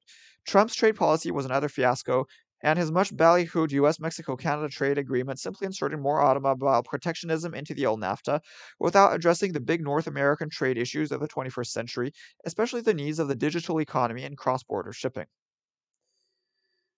Uh, Trump did appoint a lot of judges, but that was a partisan achievement, not a national one, a zero sum win for conservative Americans, not a legacy for the nation as a whole. Yet nobody does nothing as president, not even someone who watches television for five or six hours a day. There were achievements in the Trump years, and even if they hardly begin to compare to Jimmy Carter's, they are still worth noting as this presidency comes to an end. Below tallied a Barker's dozen of accomplishments that a majority of Americans, Democrats as well as Republicans, can reckon as successes of the Trump era. Stricter regulation of vaping. Vaping technology can help adult smokers quit, but it can also lure teenagers into addiction. In January 2020, Trump signed regulations restricting the use of fruit and mint flavorings in vaping cartridges. This was not as bold an action as anti tobacco groups sought, but it was not nothing either. Trump almost immediately regretted his benign action. Two weeks later, he complained on the phone on, to Health Sec- Secretary Alex Azar, I should never have done that fucking vaping thing. But the policy remains despite Trump's change of heart. So this is the point. Like the, the few things that Trump did well, that the Trump that Trump presidency did well, like he didn't even agree for it. Like there was a thing apparently the Trump presidency, so there was this growth, but that wasn't even thanks to Trump. There was apparently the fact that his administration um, uh, advocated against homophobia across the world. They, there's some sort of thing that they did that, and Trump apparently wasn't even aware of that. Um, and, and now there's this You're thing also. article from the Atlantic. Yeah, I'm leading Atlantic saying that it, what the Trump did well. They're saying what the Trump did well. Dramatic reductions in the burning of coal. Coal is the most environmentally dangerous of all fuels, but the point is that the reductions were despite the fact that Trump actually uh, supported doing more coal. It doesn't matter that's from the Atlantic. I looked at the Wall Street Journal, and the Wall Street Journal also just said exactly what Trump did. He like this is these are just facts. The like it doesn't matter. Like I could go to the Wall Street Journal, it would be the same. Um, so I can even if you want, then can you know find. the name Jimmy Savile? You mean that that guy that sort of molested uh, the guy that the the BBC uh pers- persona that uh like molested a bunch of little children. Yeah? Is this what you're yeah? Um Yeah, why? Please don't tell me that you're saying like, "Oh, Jimmy Savile molested children, so all the non-extreme right Republican media is a child molesters." I know it through the media talking about him because then he then it got, you know, it got sort of leaked that he did this. Um for so long? what do you mean how for so long? Yeah. Uh, oh, okay. But so somehow this is just all media that isn't extreme right media, like Fox News is is, is like a part of a part of a like pedophile conspiracy, and meanwhile, like the the far right news is like all they're just nothing but angels, right? This is what you're saying. No. Like, um, yeah, because because there was a he was able to sort of uh, hide the thing, and there's like a bit of complicity in I'm certain not things. that. Yeah, well, thank thank God, because I know that lots of people would be saying that. Um, yeah, the media is corrupt. The mainstream media is is somewhat uh, you know, it's got some nasty aspects to it. Sure, sure. Um, still better than Fox. Um, uh, I mean, and anyway, the Savile thing, like, like it's it was th that thing, and most people did not know about what Savile was doing. Uh, and like, yeah, I don't watch Fox or TV. yeah, sure, uh, you don't, but lots of people do. Uh, but you maybe watch some other equivalent stuff. I, I don't know. Um, so instead, U.S. coal consumption declined in every year of his. He said, but the point is that Trump said he would burn more, but instead, U.S. coal consumption declined in every year of his presidency. In 2019, the U.S. burned 586 million tons of coal, a reduction of almost 50% from the 2007 peak, and a drop of almost 15% over 2018. This was not a result Trump wanted. A harder working president might even have thwarted it. But in this one crucial respect, Trump's legendary laziness has left the world a cleaner and greener place. So again, Trump's he, Trump did good things unintentionally, like the Trump presidency ended up doing good things unintentionally. Normalization of the Middle East. President Trump moved the U.S. embassy in Israel to Jerusalem and proposed a peace plan. So that again, that was a silly move. Um, well, not necessarily, but yeah, pr- probably, presumably, it was a sort of pro- anti like Palestine provocation, and proposed a peace plan that substituted economic development for immediate Palestinian statehood. Oh wait, wait. Oh yeah, wait. Traditional experts feel that Trump's policies would ignite regional conflicts. In- instead, if anything, the region has calmed. First, the United Arab Emirates, then Bahrain and Sudan, and more recently, Morocco have opened diplomatic relations with Israel. It's now possible to fly direct from Tel Aviv to Dubai over flying Saudi Arabia. Okay. Trump also bought brought long delayed justice to Iran's General Qasem Soleimani, author of so many acts of terrorism. Again, experts feel that the killing of Soleimani will trigger the direct direst consequences. Instead, the Iranian regime itself halted the cycle of retaliation after its own reckless mistake brought down a civilian airliner over Tehran airport, killing all 176 passengers and crew. Iranian authorities first lied about their responsibility. When the truth could be concealed no longer, outrage among the Iranian people shook the Mullah regime. Trump broke every rule in the diplomatic book. He accepted payments to himself and his family from the same parties he was negotiating with, not only single millions at his hotels, but the multiple millions in financing that his son-in-law's family received from the Qataris to retrieve a bad investment in a New York City office building. Trump showed blatant favoritism to the Israelis over other negotiating parties. He repeatedly surprised all involved with abrupt changes in U.S. policy, supporting the Kurds, betraying the Kurds, appeasing Turkey, sanctioning Turkey, provoking Iran, sanctioning Iran, withdrawing U.S. forces from the region, recommitting U.S. forces to the region. At this one time, his seemingly aimless and herky-jerky approach worked, and this one time, his seemingly aimless and herky-jerky approach worked, at least in the immediate term. Maybe Trump's vagaries frightened Israelis and Gulf Arabs into getting along better. Maybe a normalization would have happened even without him. It started before him, after all. Whatever the cause, he leaves office with his particular conflict closer to revolution, resolution than when he entered office. Safeguarding 5G networks from fi- Chinese control. But I do know that there's video of Jimmy Savile in his last days admitting to horrible crimes, and there were BBC journalists working on that and fighting to get that aired and broadcasted but BBC Director General Mark Thompson kept trying to avoid them and even after getting surprised at a party to finally hopefully get him on the record. Yeah, okay, sure, but that's that still it does in no way absolve the the far right media of anything. They're they're also just uh, shills of billionaires. Uh, the point is that like Fox, if if you're like Fox and uh, you know like Shapiro and like you know Crowder or whatever, they're also the media. That if you're gonna like say that the Atlantic is somehow guilty by association, then Fox News and and Shapiro are also guilty by association. This is what I'm saying. Um, Trump's trade policy lacked rhyme or reason. He provoked futile consumer harm and conflicts with partners like Canada and Germany. But Trump's campaign to build 5G networks on Western rather than Chinese technology is powered by abundant reason to secure communications in the democratic countries from Chinese surveillance and even Chinese sabotage. For once, Trump motives were not narrowly nationalistic. The main alternative suppliers to China's Huawei are Sweden's Ericsson and Finland's Nokia. In 2018, Australia banned Huawei from its 5G networks. In June 2020, Canada and Singapore announced that they would rely on non Chinese technology. The United Kingdom followed in July and even ordered the removal of Huawei components where they had already been installed. Hello, fellow alpha males. Oh, you're back. I feared you might not come back after after a somewhat spat yesterday. Uh, hi.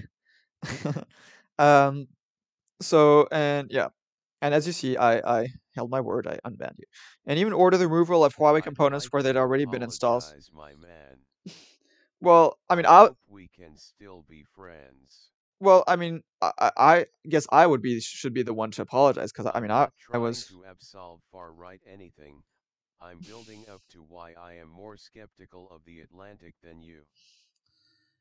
Well, the the point is that you should be skeptical of the Atlantic, but you should be at least as skeptical of something like Fox News or like the the far right media, like, you know, like, I I don't know, like back in the day, Rush Limbaugh or something, you know, or Glenn Beck or or Alex Jones or you know, Fox News or Ben Shapiro or Steven Crowder or or any, you know, any of these people, you you should be even more skeptical of them in many ways, if not maybe not necessarily always.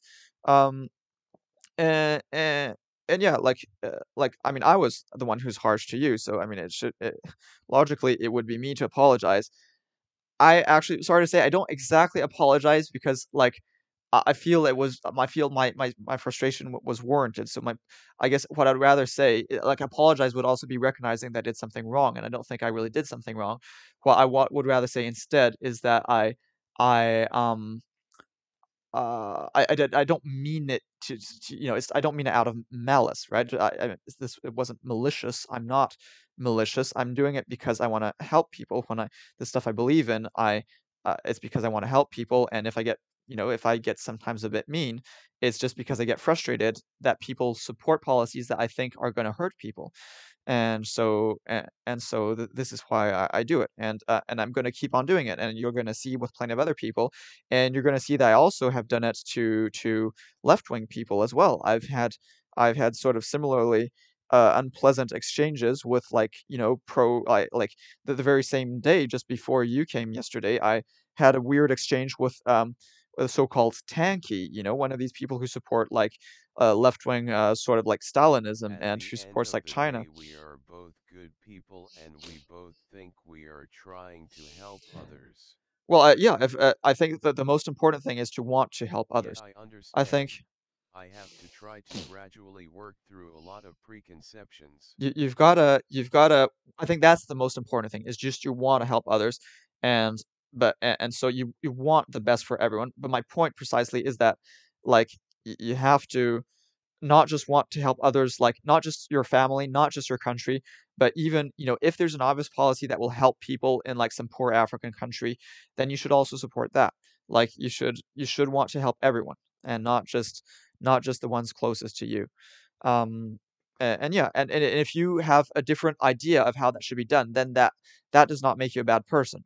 What would make you a bad person is if you're okay to just let people suffer, uh, or or even worse, actually enjoy seeing other people suffer. That that is really the the most important thing. You just wanna have to make people stop suffering. Um, for for me, that's the only ethical principle that that I ask for, I really. actually Um agree with you about borders and stuff. Oh, really? Okay. I just think it's not possible right now. Well, I agree that it's not possible right now. like a losing Um battle against all of the schools, branches of the military, people allowed to be broadcasted, ad astra. So, yeah, so I I appreciate you with with saying that, and I I appreciate you with, um, you know, with your conc your conciliatory stance here. Um, I I I agree it's not possible, but wh you have to ask yourself, why is it not possible? And I think the reason is simply because people don't believe it's possible, and also because basically that, you know, you've got I I think lots of the really rich people, they they like to use nationalism to deflect, uh, the anger of the average person away from themselves and towards people in neighboring countries. This is the the way that nationalism has been used for for centuries, um, to Same as yeah. communism. I Wait. actually believe communism is the way of the Really? future. Really? I'm I'm it's not the way we should go right now. Oh, really? I I actually don't I mean, it's not exactly I mean, my vision is pretty close to Marx's vision of communism, but still in the future, but it's still not actual communism either, because, like, Marx's long-term goal was to have a society that would have no state and no money, and I I I don't At Chad the alpha male LOL Yeah. Yeah, what what what do you mean actually by communism? What I support in the long term is have everybody just on Once on a basic income. enough, we have worker Yeah. robots doing all our labor, then we can talk about communism. Yeah, okay, so you agree with this. Okay, so that I'm I'm very glad to hear that lots of people don't actually see this, but it it makes complete sense to do this. Um, and and that was Marx's vision too. And I think the point is that Marx had the wrong intermediary solution because he said before communism you need socialism, and that imp- involves having like the government control the economy. years away. Potentially just like 100 years away. Uh, I think it could it could happen not that far in the future. Like literally, all you need is to have robots that are that have the same capacities as humans. Chad the Alpha Male that's not Marx's vision, it's Gene Roddenberry's capital. But I, I don't even know who that is. But um, okay, presumably it's someone who talked about that. But no, it, it is Marx's vision, except that Marx also said that we would do away with money. And I actually disagree with that. I think you just still give people money so that, and, and then that you'd have to still pay for stuff, but you just pay it to like, you know, robot, you know, um, you know, customer service robot people. And then those robots would just send the money back to the government, and the government would send it, that money back to people in the form of basic income. Uh, and that's just a way to determine like how much you're allowed to buy. Because without money, you could just show up to a shop and is the creepy sex offender that founded Star Trek. okay, okay. Like you see, without money, you could just show up to a shop and say, "Well, give me everything," and then the shopkeeper would be like, "Okay, like, uh, you know, since we don't have money, I there's no way for me to s- refuse." And, and so this is why why you need money. I mean, if we Um, have robots mining resources from asteroids, literally everyone could live in a mansion. Yeah. For free. but I still think that you should have money just so that way it enables us to distribute like goods in a fair fashion. Like that way everybody has the same purchasing power. like literally otherwise somebody could just, you know, come up to a giant palace and say, "Well, I want this for myself." And then people would be like, "Okay, like, you know, money is a great way of determining how to fairly allocate all the resources because even if you could have everybody living in a mansion, which I think you could, and this is exactly what I what I'm talking about, this is what you should have. That But sense. but you still need even if you have enormous amounts of resources they still aren't infinite which means you still need to figure a way of of fairly distributing the, those resources and i think money still is the best way to do that which is why i don't think a moneyless society is, a good idea i think you should always keep money just just for that um, but yeah so so you agree with my long-term vision so I, I'm, I'm glad about i'm glad to see that i'm and kind of surprised actually but um uh, i'm glad about that and again i've been uh, you know, I've I've told you, right? I don't support these, uh, like I don't support the Chinese government. Uh, So I had this. I also had the sort of, uh, you know, uh, a rather heated conversation with a person who, um, supported China and who said China was doing actual socialism and that this was good and that China was too democratic and this was why China wasn't doing well. the most culturally And fantasy about not having money. and he also had this idea that like how but even in the capitalism. series pre-Roe v. Wade couldn't get away from falling back Mm, on the concept of credits. yeah, yeah, yeah, Sorry, Yeah. No, that, that that's fine. That's fine. Um. like literally literally it's You were talking about something way more important. no this, this is good but I, I like having this uh, this speech chat that way that way you can like you can see it and like that way it's sort of more like a conversation And my um text to speech interrupted shutting up now. oh yeah no but it's fine no yeah, i mean don't if you- otherwise i'll just turn off the text to speech also and you- then you can just uh, write more if you want to write more um that that's fine too.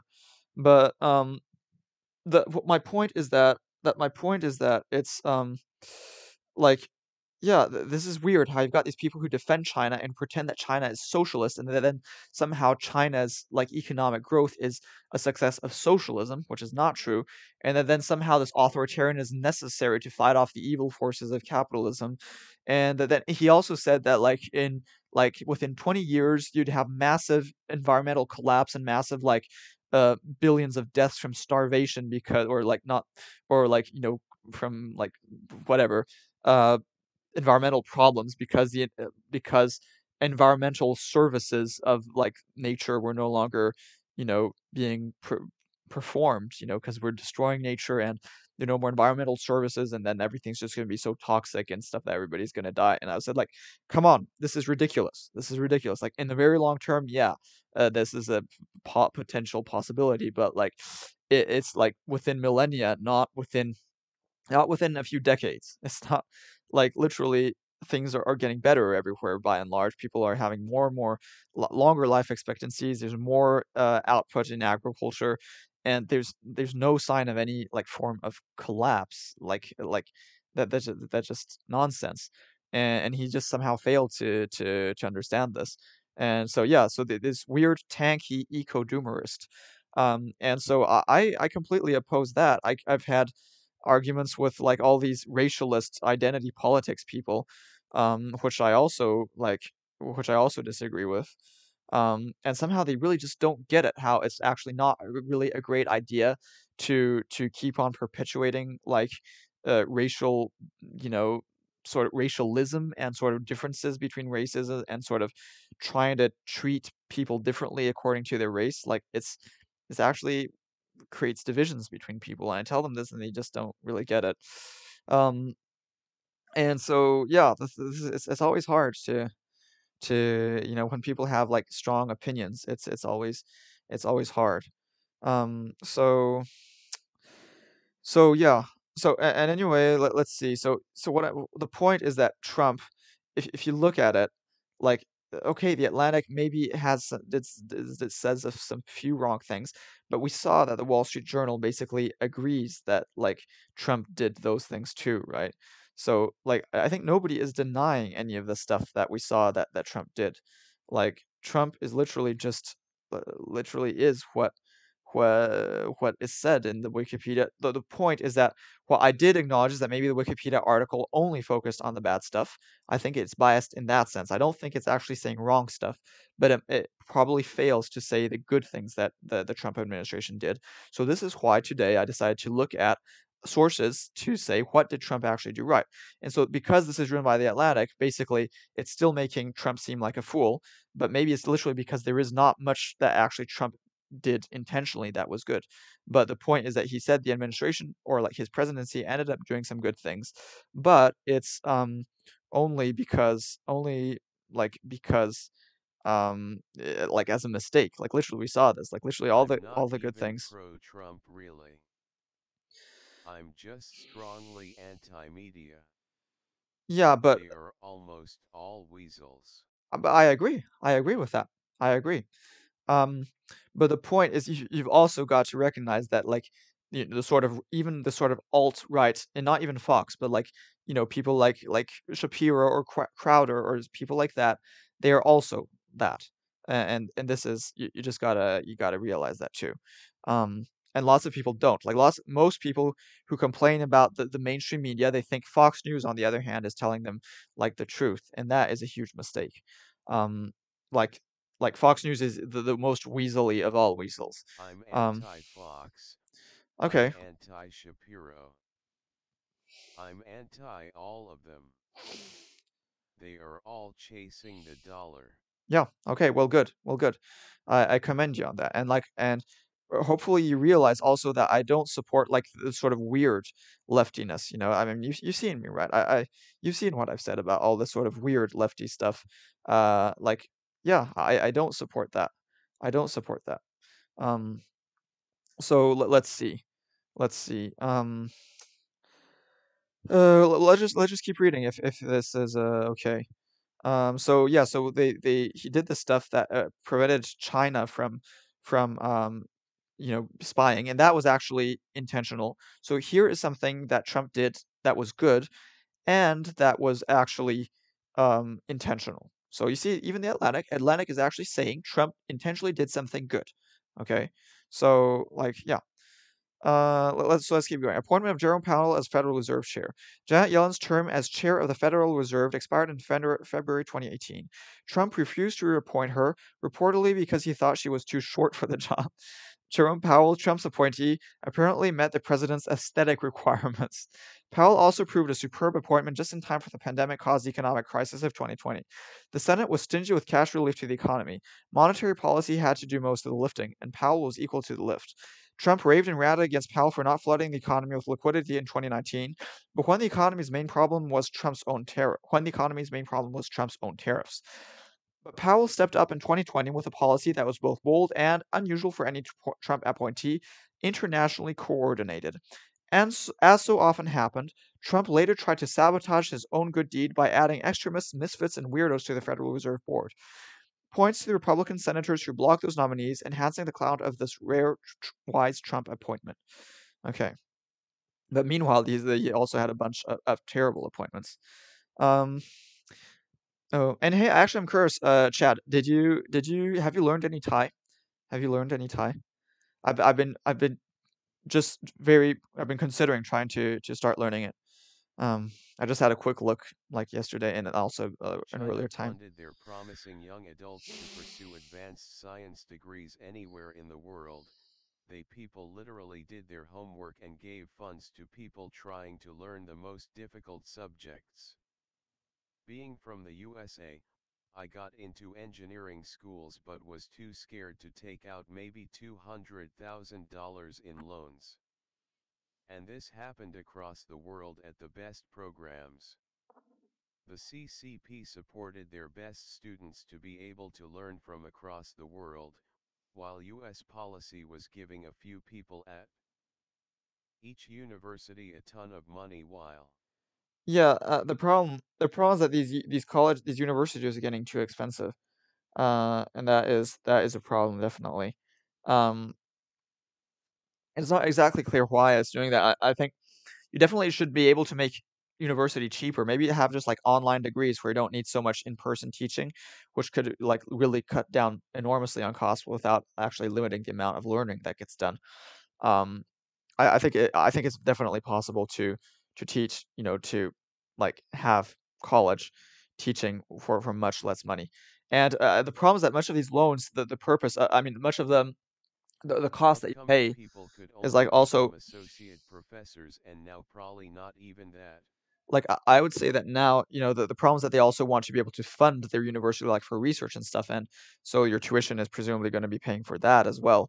Uh, so what I advocate for again is you research. I think research should be paid for by the government. I don't think tertiary education should be paid for by the government, but research should be.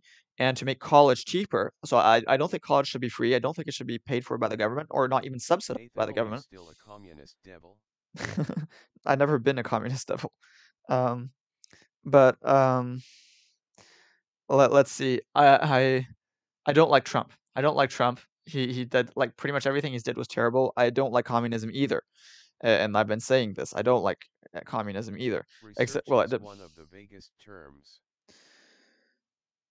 well, you know, like just all these sort of scientific like studies and stuff that gets done. I think that that's sort of yeah, it's, it includes lots of stuff, and I think um and I and I think it should be that should be funded. Um yeah. Um let's see. Let's see. Is there is there Yeah, I thought I think that's kind of covers it. I think I covered what I, I need to say. Uh, oh yeah, to make college cheaper, you just again you just have like online more online learning. You can have like opportunities to have online learning, so you just really don't have to pay much. Um, and that way, yeah, that way uh, you you won't have to worry about taking out loans and stuff. Um, to me, that that seems like a pretty pretty good way to do it. Um, let's see. Learning, Yeah, I think that way, like literally, like they've been doing with COVID, you can l- actually, you could literally just do the same thing instead of having to go to class and pay a teacher to do the class. You could just watch an old video of the teacher that did the class a couple of years ago, and that way you don't have to pay that teacher to do the class again this time around. Um, see what I mean?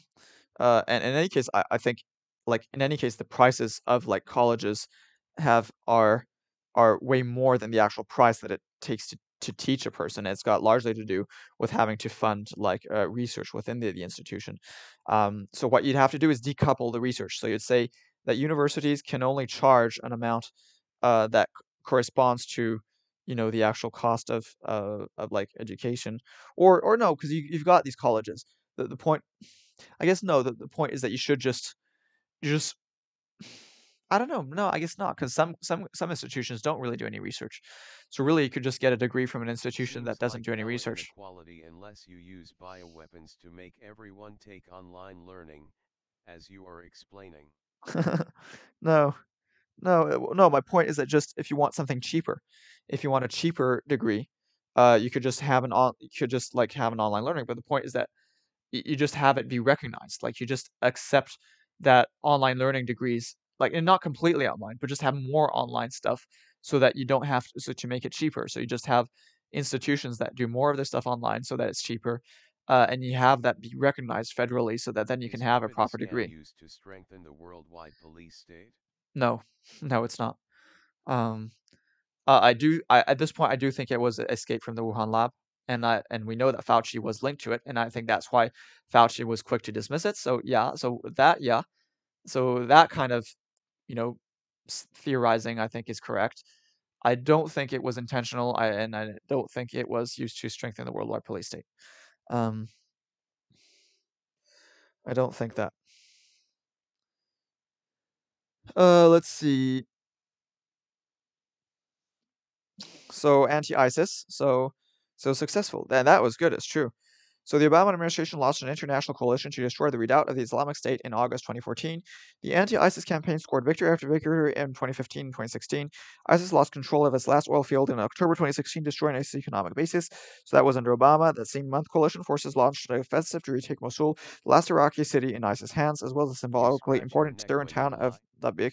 No, I just I do it because it's I'm itchy. um, why no? um, and why why would I lie? Like like why would I lie? the the last uh, so Trump continued the anti-ISIS campaign in 2017 and 2018 and it remained successful, culminating in a U.S. raid that killed the ISIS commander Abu Bakr al-Baghdadi in October 2019.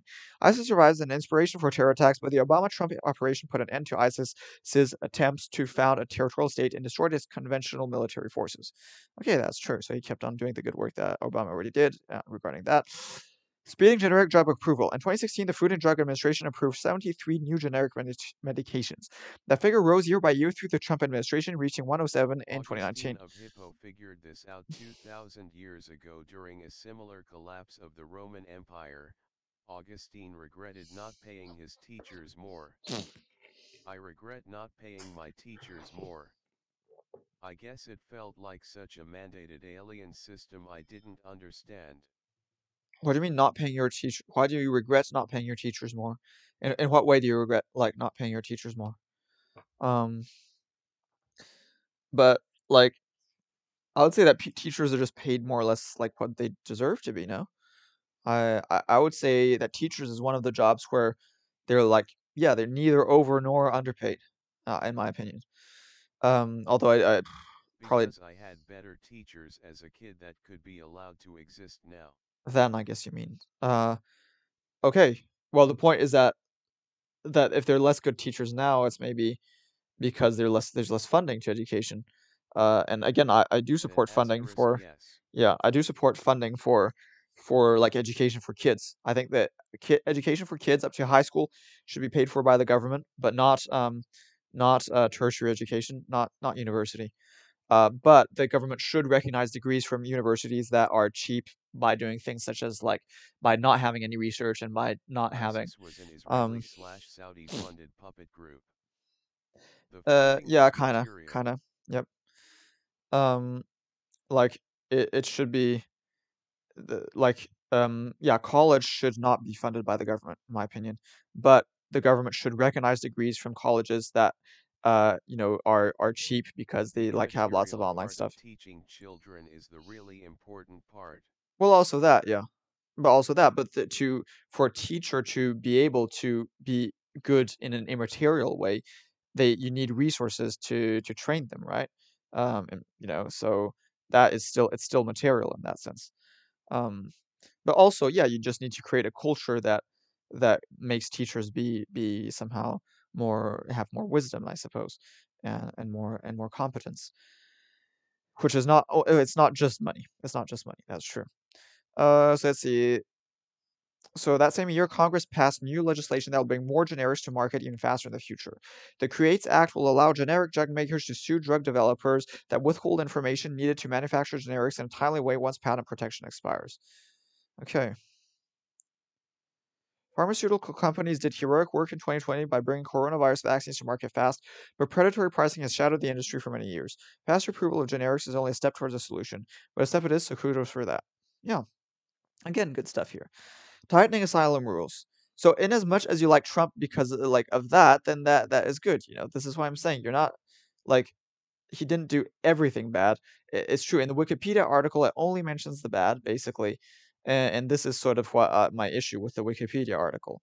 And like if you if you see Spider-Man again, you can tell him this that like you know if you like Trump because of this, if you like Trump also just because he's anti-identity politics, then that that then you're not a bad person. Okay, this, my point is if you actually support little kids getting separated permanently from their families, that is bad. Okay.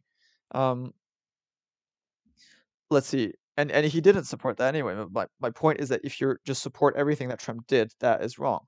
Uh, and also like the environmental stuff. He he you know, if you support that kind of stuff, that's wrong.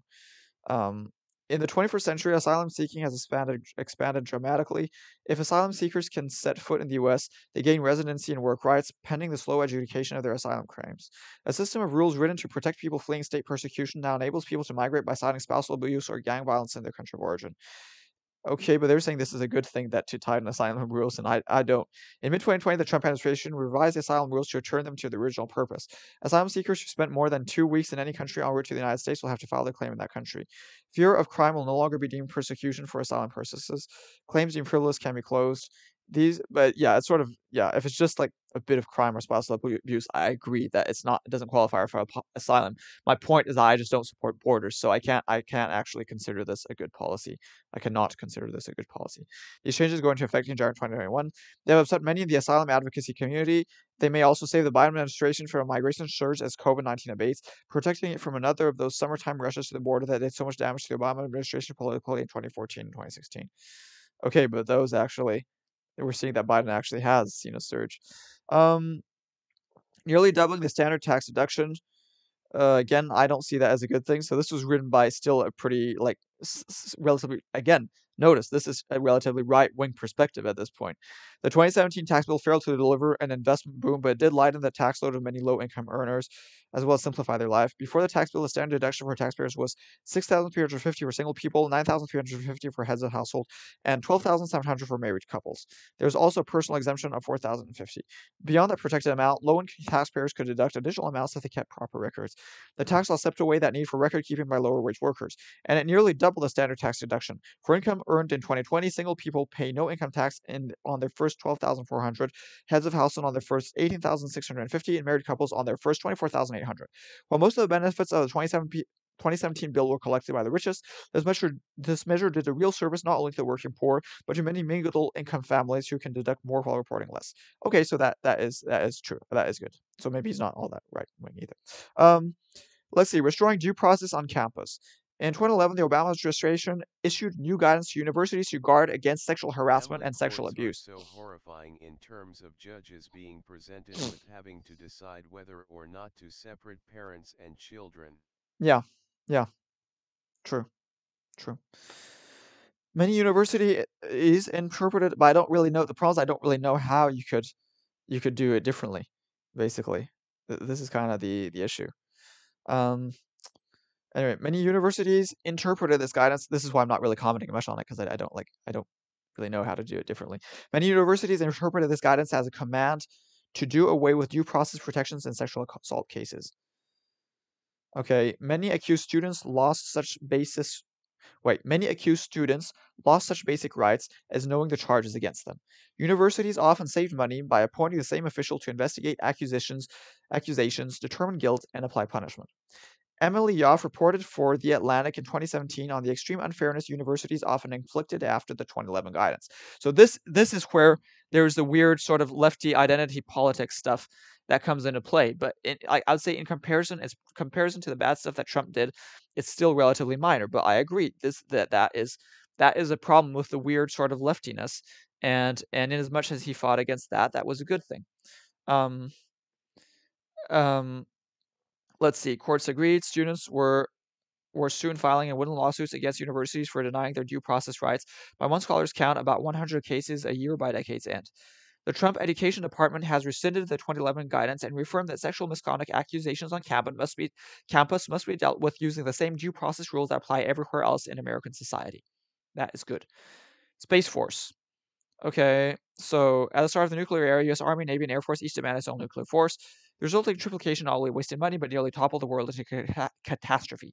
The Army's nuclear cap- the Army's nuclear ambitions saddled the U.S. with thousands of short-range nuclear weapons that invited war planners to imagine a battlefield world for Hiroshima-style identity warheads. weird or bad? Am you want to reword that cause you deaf misspoke? No, I didn't. It is it is weird. I don't I don't support it. It it's racist. It's racialist, and if it's racialist, it's in practice is racist. The Air Force sustained its strategic bomber force for decades after it was rendered obsolete by intercontinental missiles. Um, the balance How between land racist?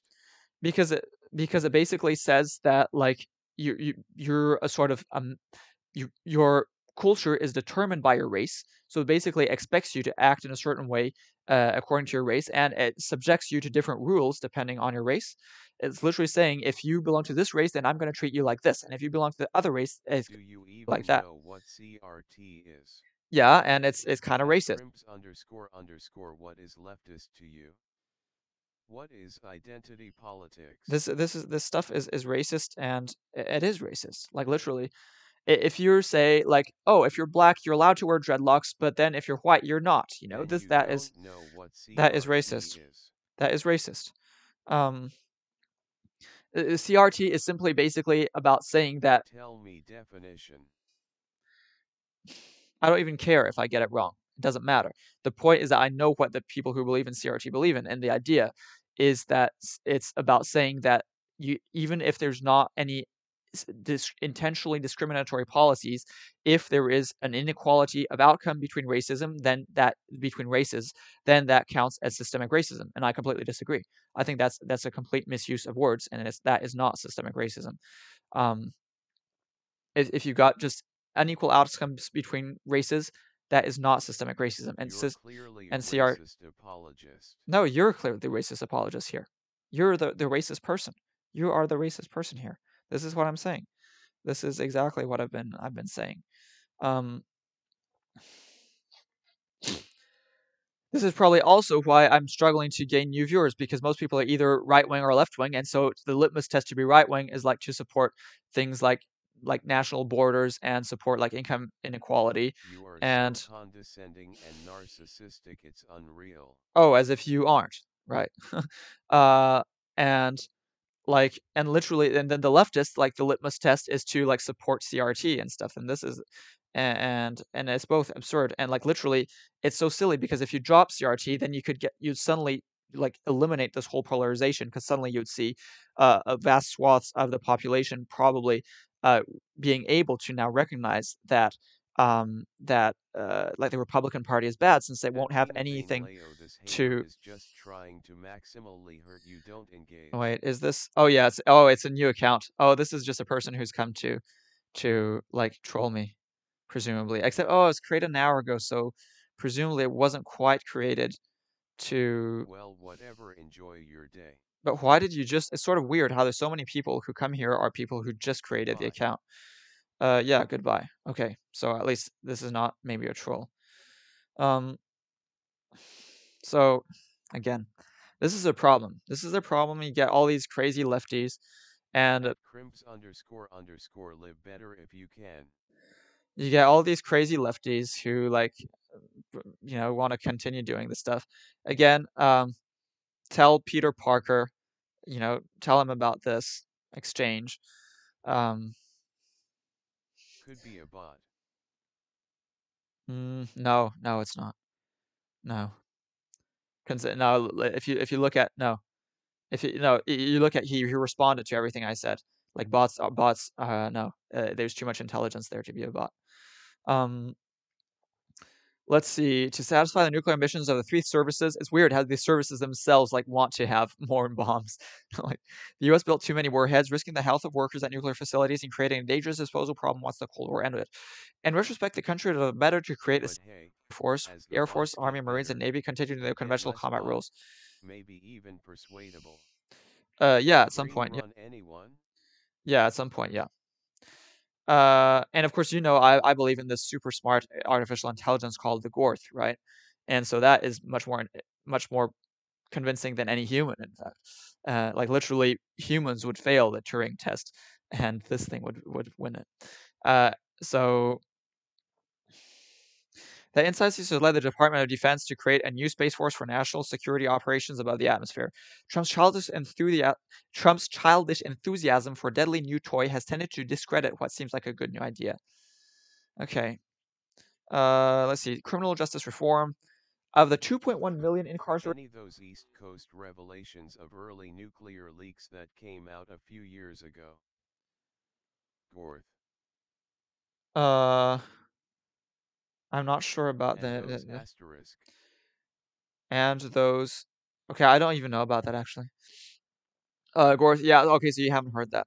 You're probably gonna think I'm nuts. I, I believe in that. I believe that there's a sort of other dimension to the universe, and that th- in this thing, some people a long time ago created a, a, an evil AI that is able to like influence our, our minds. Um, I know I, I know it sounds cooking, but anyway, um, th- so that's my my sort of pet belief.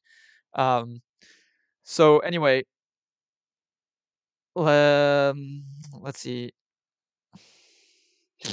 Evil AI. Yeah. Gnosticism. Yeah, yeah, kind of like that, kind of like that. Um, of the 2.1 million incarcerated people in the United States, fewer than 10% are held in the federal prison system. Yet federal prisons play a disproportionately large role in prison policy. They set trends that states follow and suggest standards for states to emulate. The Trump administration's first step prison reform proposals were cautious but humane. Mandatory minimum sentences will be reduced for certain uh, drug offenses prisoners, but at the same time, apparently the administration sought to like seek maximum uh, conviction and maximum sentencing. Prisoners will more easily qualify for early release and be closer to their home. Women in prison will also receive sanitary products free of cost, helping to end the economic exploitation of prisoners who are often overcharged for basic necessities. Yeah, that's weird. That's weird. The most important benefit of the First Step program is that it offers political cover to states to embark on their own reforms. If the supposedly tough on crime Trump administration can endorse lighter sentences and free tampons, so can conservative state politicians. Yeah, I agree. Okay, civic participation. The United States has historically been characterized by lower levels of politi- particical, political participation than other advanced democracies. Trump fixed that. Throughout 2020, he made clear his determination to hold on to power unless repudiated by a massive popular margin. He had won the presidency in 2016 despite losing the national popular vote by nearly 3 million ballots. Plainly, an even bigger margin would be required, be required to force him out. The anti Trump majority of the electorate absorbed that message and acted on it. Never in U.S. history has such a high proportion of the adult population cast a ballot. Nearly two thirds of eligible voters, 66.2%, turned out in 2020. The last year to come close was 1908, when 65.7% of those eligible voted. But in 1908, women were not eligible to vote, men qualified to vote at age 21 rather than age 18. And in much of the country, black people were effectively ineligible too. The 66% of 1908 was achieved when a U.S. population of 88.7 million cast 14.9 million votes. The 66% of 2020 was achieved by a population of 331 million casting 158 million votes. A president who sought to subvert U.S. democracy instead inspired unprecedented numbers of Americans to participate in that democracy in order to save it from him. This was an achievement Donald Trump did not intend and surely did not want, but it was his achievement even so. This this is kind of the point: is that half of his achievements were not like his, and like much of like criminal justice reform, presumably it was more just that something needed to be done, and they ended up doing something. Just um, like it would have happened anyway, even if it wasn't Trump. Um, so so there we go. There we go. Let's see. Um,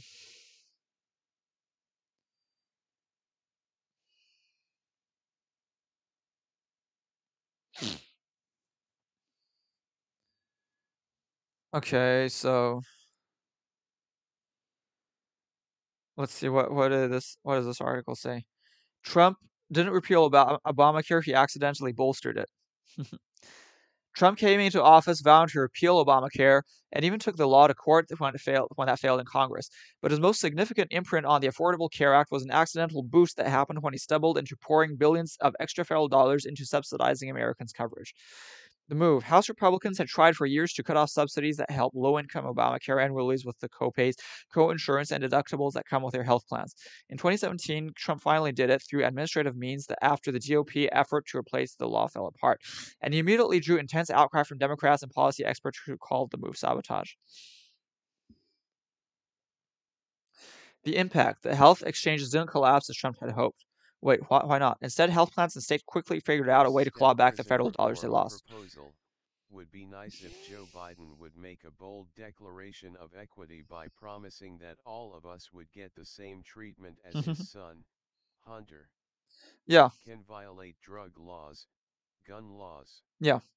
Get $500,000 per artwork that's just a random mess. Wait, that wouldn't be sustainable. Yeah, of course there's that. That I mean, again, Biden is not perfect, right? I'm just saying that overall his policies Maybe were they should be better. they're like yeah, th- there is this issue of like Hunter and stuff, but like um let's see. It's not like I tr- should too.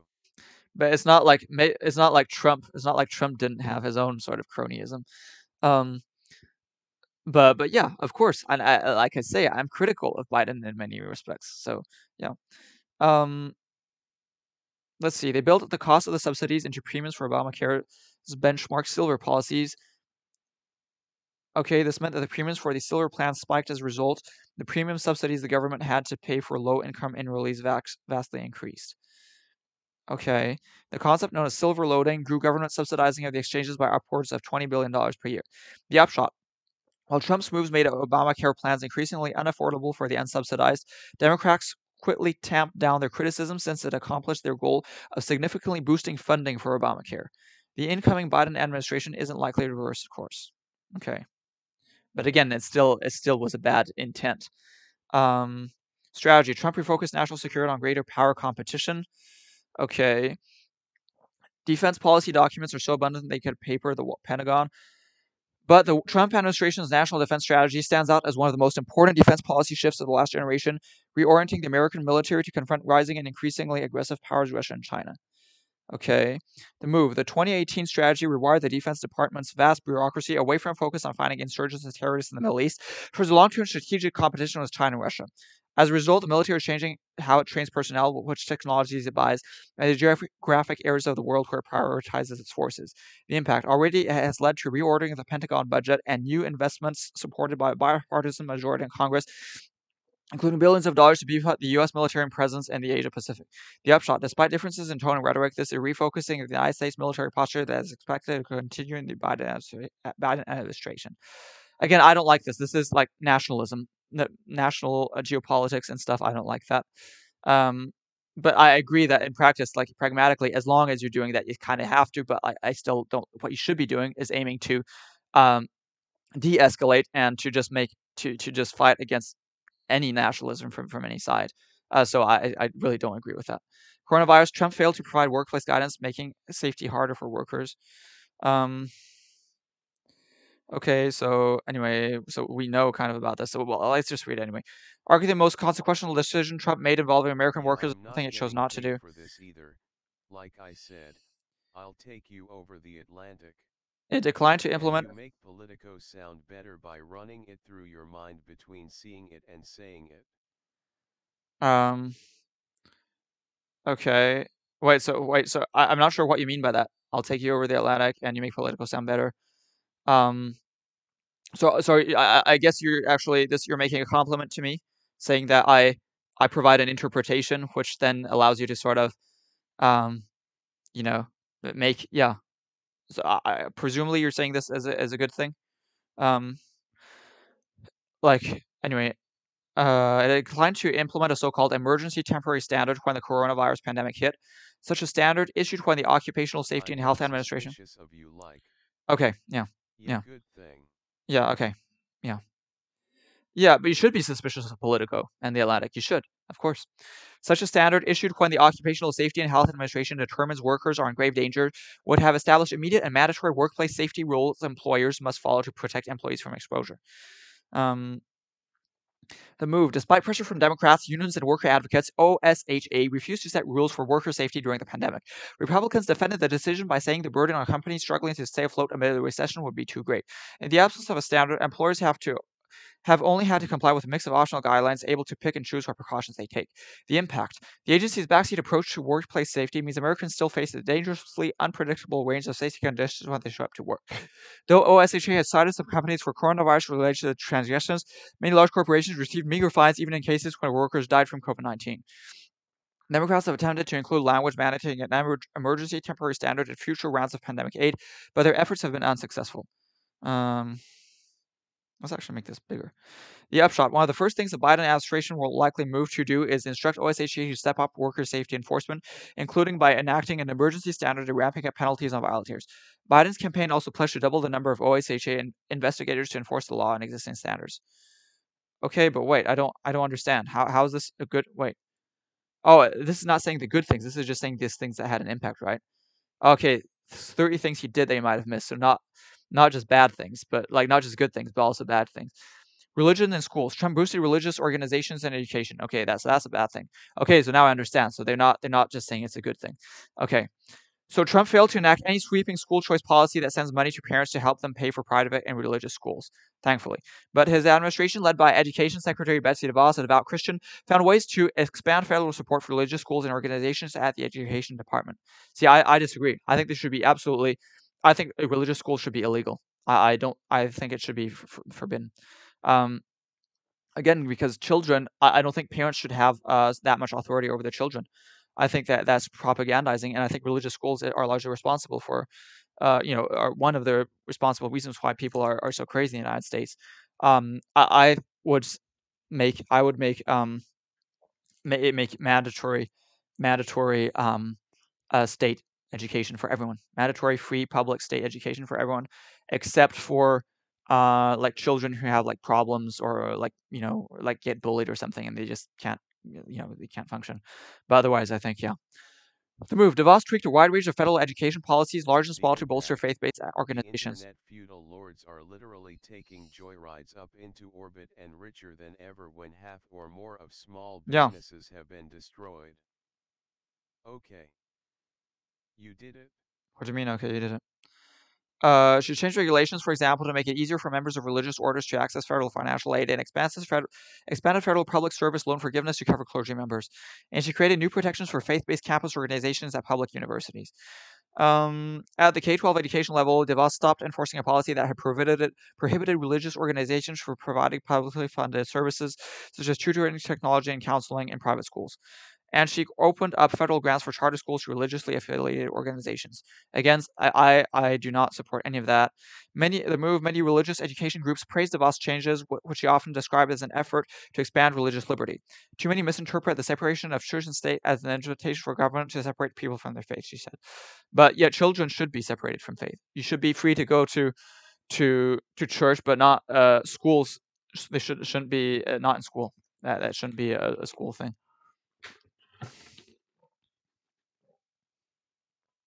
The Biden administration is expected to move quickly to roll back many of DeVos's education policies, but it's not yet clear how the incoming administration will approach her various policy tweaks to promote religious organizations. Okay, oversight. Trump's Interior Department sent a new standard for ignoring Congress.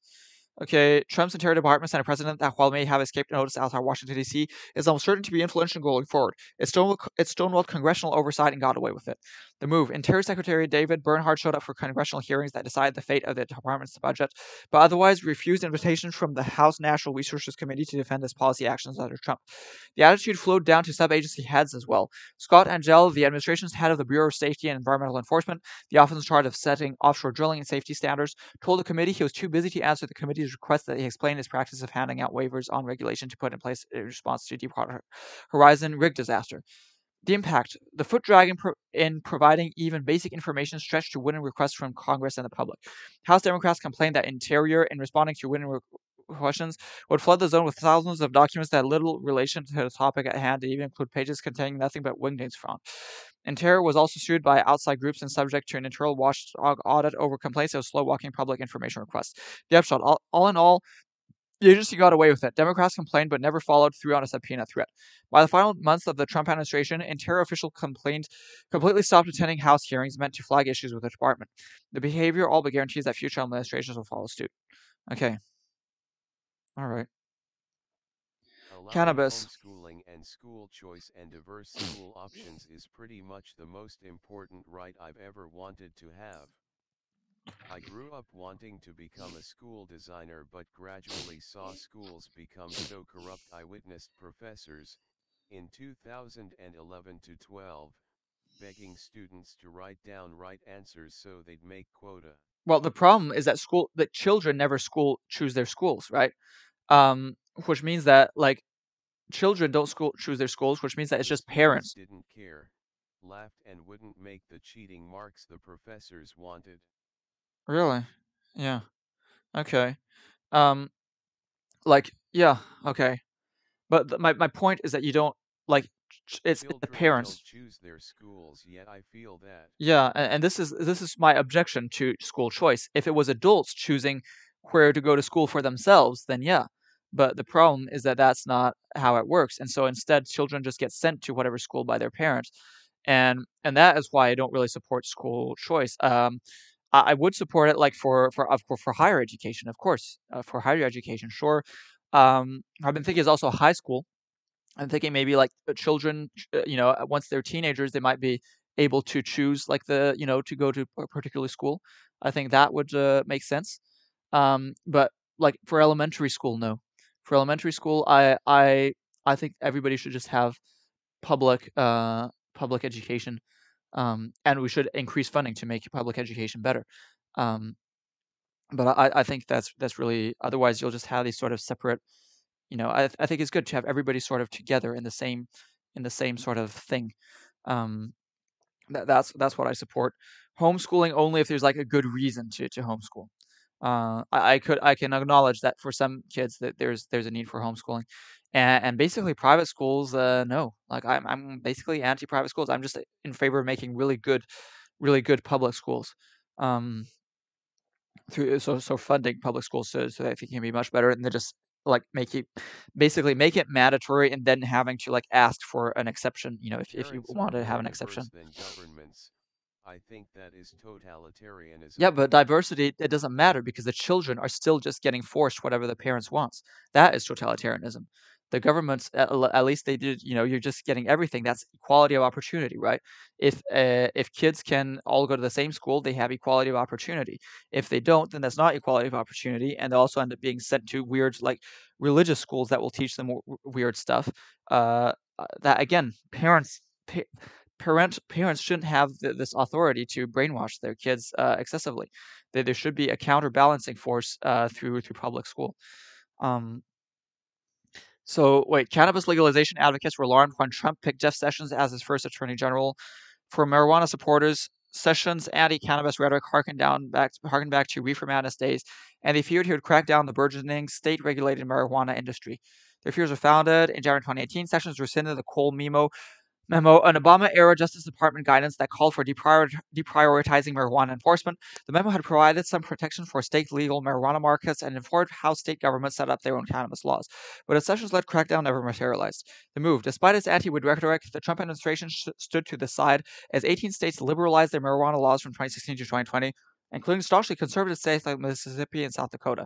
Despite former Attorney General William Barr's antitrust secu- scrutiny of cannabis deals, the federal government remained relatively hands off on marijuana policy. The impact cannabis is now legal in some form in 36 states, meaning that a majority of Americans have some form of legal access, even though the drug remains officially legal at the federal level. In fact, more than one third of Americans now live in states with full legalization. Governments shouldn't have the authority to laugh at their subjects and say they ought to be able to disarm them because small arms are nothing compared to nuclear weapons and air fleets. I, I actually don't understand. I think they should be able. Like, uh, do you do you think private citizens should be able to own nuclear weapons? um, I mean, I don't think. Similarly, let people have children. I don't. I don't understand the argument there. I don't understand the argument. Try to foster them. People. Try to. I. I still don't understand. what?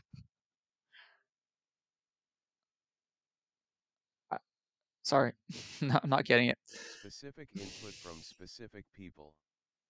Still don't get it.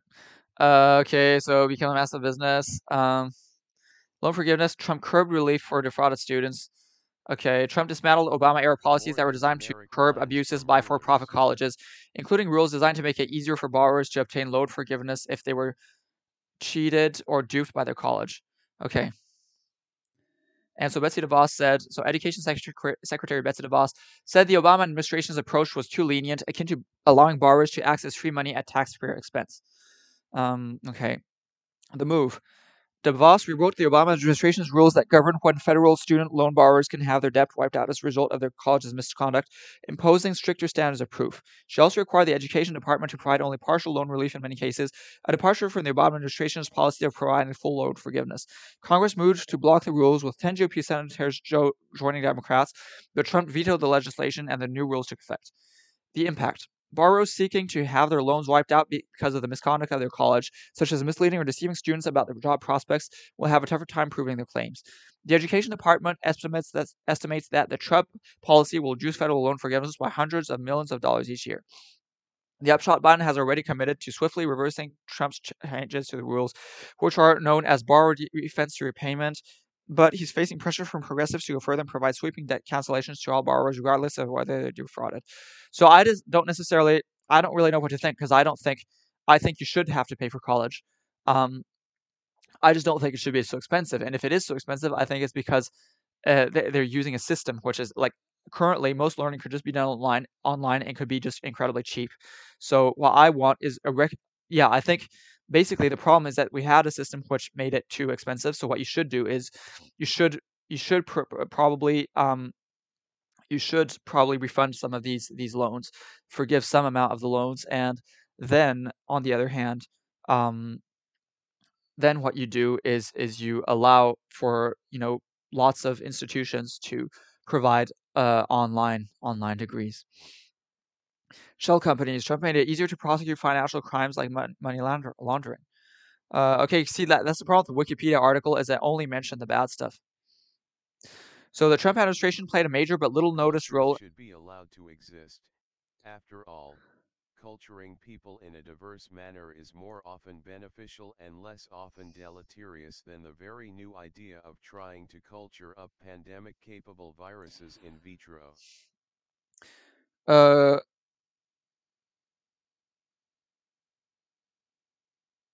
again, a bit weird. I'm not really, not really sure what to what to say about that. Um, so apparently they they've done this this legislation to to so the new law require millions of business entities to report their true owners, puncturing the veil of anonymity that shell companies give to money launderers and tax evaders, and make it easier for prosecutors to literally follow the money. Okay, so this is good. Um, the information businesses report to the Treasury Department would be accessible to law enforcement agencies that would have an unprecedented tool to investigate shell companies. Banks, which are responsible for policing criminal activity by their com- customers, would also be able to tap into the database. Um, so good. Poverty. Trump Trump shrank the food safety net a lot. Okay, bad thing here. Under Trump, the Agriculture Department scaled back the $60 billion Supplemental Nutrition Assistance Program, the food support program for low income Americans, formerly known as food stamps. Um, the administration said it wanted to cut back on waste and save money this program. idea of banning private schools.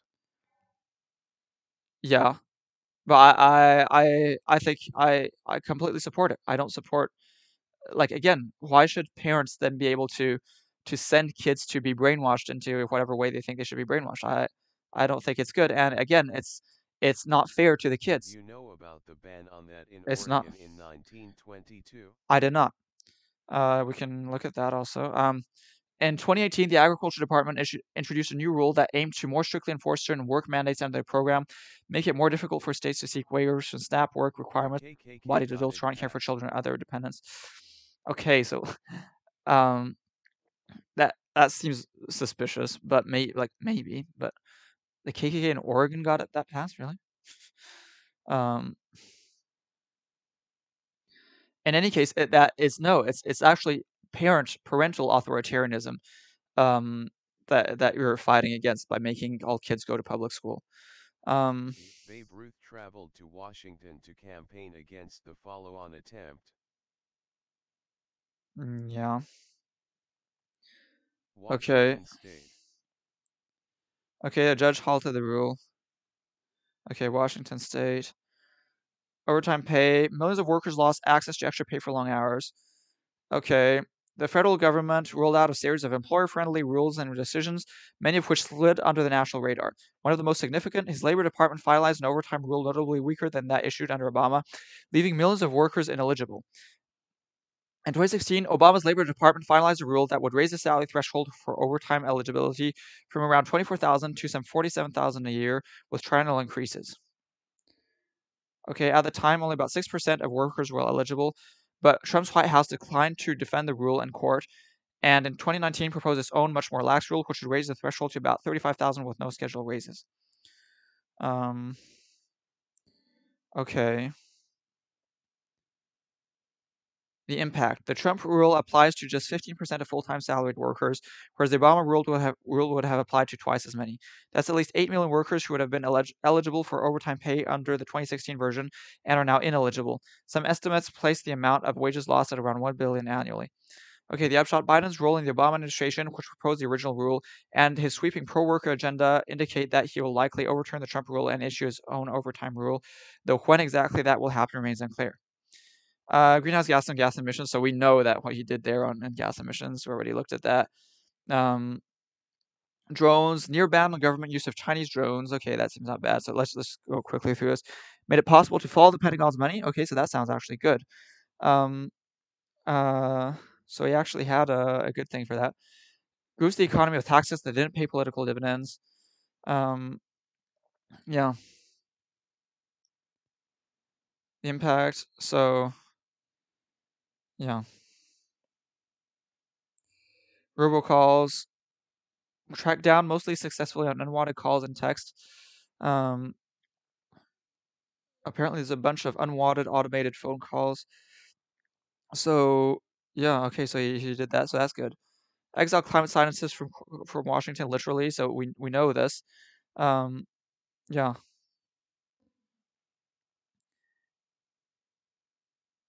Trump took a big swing at finally fixing healthcare technology. Um, yeah, so so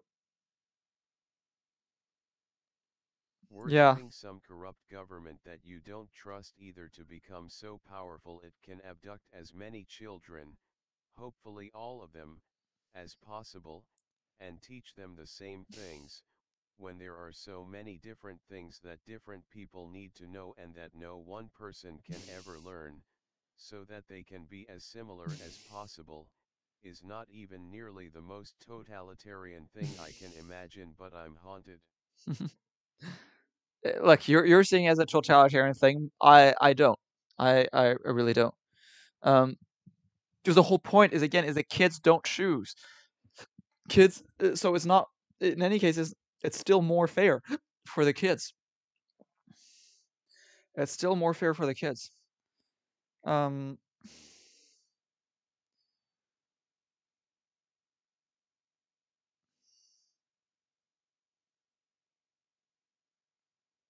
but yeah, look, it, doesn't it doesn't really matter. Like, I mean, for now we've got like private schools in pretty much everywhere, and and you know it's okay too. But I personally prefer to have everybody at, at in state school. Um, Kids and adults should have more choice than the ruling apparatus. The ruling apparatus should answer to adults and kids. yeah, but the whole point, I mean, yeah, but kids kids I there have been horrible schools. I think kids shouldn't really be allowed to to choose. I mean, but once you're a teenager, yeah, more. But What um, memory makes you fear? what memory makes you fear? If you want to share, I don't understand. Um, so wait, what did he do? Oh yeah, he did his stupid, he ending curbs on auto emissions. That that was really dumb. So he did this again. Um, yeah, eh, he said Obama wants to increase five percent, Trump one point five percent only. Um, and so that that was really stupid. Like Trump, Trump was really dumb. Um, th- this was this was really dumb. either from your schooling or someone The else's. anti-monopolist started winning despite Trump at first, then with his help. Um, for the past decades, politicians on both sides of the aisle have expressed concerns about the growing size, power, and influence of tech giants. who really took actions against them. Progressive anti-monopoly advocates were largely overruled during the Obama years at the two U.S. at the U.S.'s two antitrust agencies, the Federal Trade Commission and the Justice Department. But amid growing conservative anger at the tech giants, Trump's regulators regulators eventually joined the fight and dusted off an antitrust legal playbook that hadn't been used since the breakup of AT&T in the 1980s. Okay, Early on, Trump's tenure seemed to be following recent patterns by waving through major mergers like the combination of telecom giants Sprint and T-Mobile. But two Trump picks, FTC Chair Joe Simons and DOJ's Barr, have spent the past two years more aggressively looking into antitrust concerns raised by Silicon Valley. In recent months, the DOJ filed a landmark antitrust case against Google, its biggest monopolization case since the 1990 suit against Microsoft. The FTC, meanwhile, is pursuing its own watershed suit against Facebook that could see that could see the social network broken up. The impact is too soon to tell whether the antitrust actions will succeed in forcing changes at Google or Facebook, but they have sent a signal that there will be more scrutiny of their business practices going forward. Both lawyers will both lawsuits will continue into the Biden administration and possibly beyond. Was such a stereotypical CIA pawn. Uh yeah. I I don't really know enough about him to to be able to comment. So yeah, yeah. A big crackdown on legal immigrants. he talks so well. So yeah, he wanted to to limit he wanted to limit uh restrictions. Um ideas he never acted upon. hmm.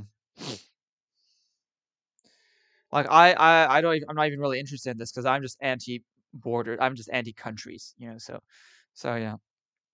Trump impeded regulation even though Republicans wanted it on toxic chemicals. Trump's EPA essentially blew up a bipartisan deal to more strictly regulate toxic chemicals than Americans that Americans are exposed to daily, and instead tapped a group of chemicals industry experts to run and advise the program. Um, the 2016 overhaul of the Toxic Substances Control Act, supported by do- both Democrats and Republicans, had given EPA new teeth to go after well known dangerous chemicals like asbestos and methylene chloride in a bid to boost public confidence in the safety of consumer products. The move Trump officials muzzled scientists and civil servants at the agency and crafted narrow approaches to assessing chemicals dangers that have massive loopholes. So, this, again, this is why Trump is really bad. Specifically, while under the new law, Congress urged EPA to consider all possible exposures to chemicals, chemical cumulatively, whether in the water, air, through ex- through consumer uses or exposure at work. Um, I disagree with the vaccination. but uh, really, um, well, that okay, but you call yourself Flat Earth Bill, so okay, that's not surprising. Um, so but Trump's EPA opted only to look at risk from exposures that couldn't be regulated under other laws. For instance, they wouldn't weigh potential exposure to a chemical in drinking water since it could be regulated under the Safe Drinking Water Act even if it wasn't. Trump's EPA also mostly whiffed statutory deadlines to finish studying risk for most for the first round of chemicals under the 2016 law and was slapped by federal court for ignoring certain ways Americans are exposed to toxins. The impact. The administration approach paves the way for less stringent regulation of toxic chemicals. If the Biden EPA leaves the laxer evaluations intact, its subsequent regulations will not be able to limit certain ways people are exposed, meaning Americans may not get comprehensive protections. While it is likely the Biden administration will take a more holistic look at future chemicals EPA reviews, it is unclear whether it will have time to reanalyze the chemicals the Trump administration already finished reviewing.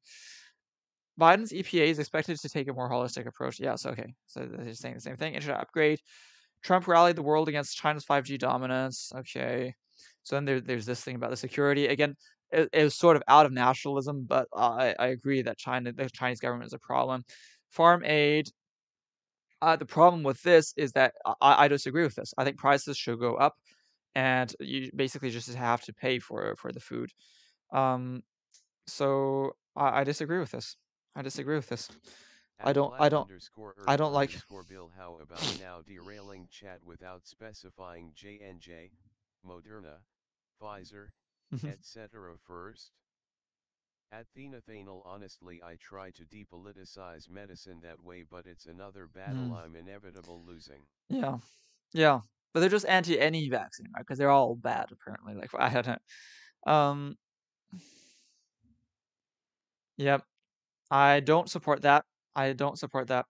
Um, banking. Trump rolled back rules on banks designed to prevent another financial crisis. Well, no. Well, Trump he, he is a bit of a puppet, but Trump was like, like the super puppet. Um, except he's a puppet for like partly for himself, but he's still he's certainly he's a puppet for the billionaire class, and so he's representing himself. Um, so he's also the puppeteer in a way, but in, he's a sort of dumb puppeteer. And in any case, he's he's an idiot. puppets and cute. In any case, he's an idiot. How the fuck What? was Trump a puppet when he was a free-speaking loudmouth foul individual? well, he's a puppet to his own idiocy. Trump at least was his own person. Yeah, he was his own, person. Is a puppet. but he's a puppet to his idiocy. Um, like, let's see. So what, what, what was this? Banking rollback rules on banks designed to prevent another financial crisis. So yeah. So again, this is another problem. Um, so apparently, it's unlikely they that Democrats will try to undo the law. Because the party centrists tried to help pass this. I I'm okay. Trump galvanized. like Tales from the Crypt, child sniffing puppet. Yeah, look, he's got he had that weird child that. He said racist stuff, but um, look, he's still better. He's better than Trump. Okay, Trump galvanized an anti-Silicon Valley movement in the GOP. Yeah, he yeah he did that. That that's that's weird. No, he's not LMFAO.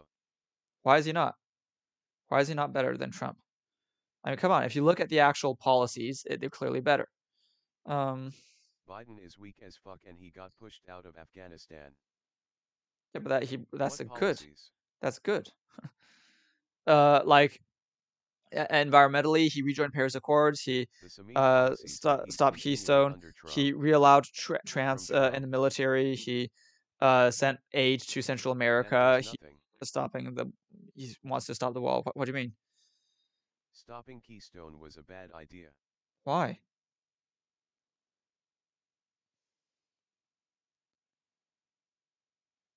Why is that a bad idea? Wait, I, I don't even know what what what's, what what what are you criticizing about Biden? What would you do if you were president? What would you do? Okay, wait. So what was this? Joining the Paris Climate Accord is absolutely stupid. Okay, so paying countries to do what they should be doing.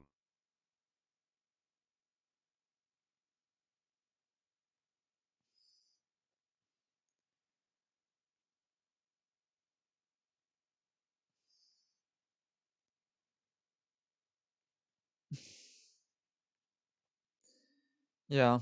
Um. Uh. Look, raise raise back rules on racially I segregated housing. Putin. Yeah. Yeah. But Ben Carson himself did this. Um. So As he's himself a China black person. bodied Trump out of the presidency. It only follows that U.S. troops get bodied out of Afghanistan. I that's good. That's good. That fi- finally. having over 90% of the world. I, but that's good. I, I'm glad that that, that the U.S. won out of Trump out of Afghanistan. presidency with the pandemic. No, no, Jesus. So you're you're both into Yes, those weird. crop matters now that synthetic opiates are so easy to make. Jesus.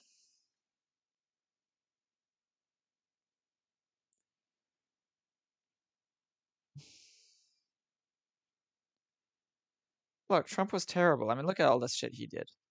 Like he he did he did all sorts of terrible shit. Biden is definitely better. Um, yeah, and his stupid his stupid tariffs also. Uh, it's all terrible. Like everything he did was bad. Like it's uh, is just. Politico. I know it's Politico, but the point is we know he did this. No, nobody denies that he implemented tariffs. Nobody's denying that he, you know, uh, none of this stuff. Nobody. Biden is an idiot, bro. No, Biden. Well, uh, he's a bit of an idiot, but compared to like Trump, is a massive idiot. Um, compared to Trump, he's a genius. Um, well, not so much a genius, but a, a wise, a wise. Trump is not an idiot. Well, Tru- Trump. Yeah, because you're an idiot yourself for thinking that. I'm sorry to say this, but if if you think that Trump is not an idiot, then you are an idiot. He might be kind of smart, but in some of a weird way. But certainly his policies were terrible. His policies were terrible. Biden's policies are pretty much better in all way, um, in all ways.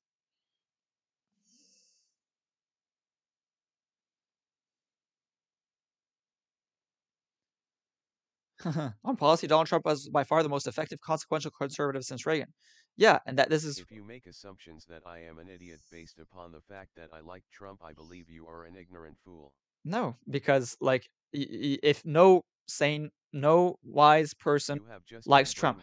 by the liberal media who Nope. Trump for four years straight. Nope. I've been looking at all the stuff that look. This is this is a look. Free market voice for Wisconsin, MacIver Institute. Okay, so this is not the the liberal media. So what what is uh the stuff they did? Massive Yes, you have Trump derangement syndrome. Massive deregulation, saving the average American household roughly three three thousand one hundred dollars What per year. think about The- foreign policy? The point is that he gave tax. He.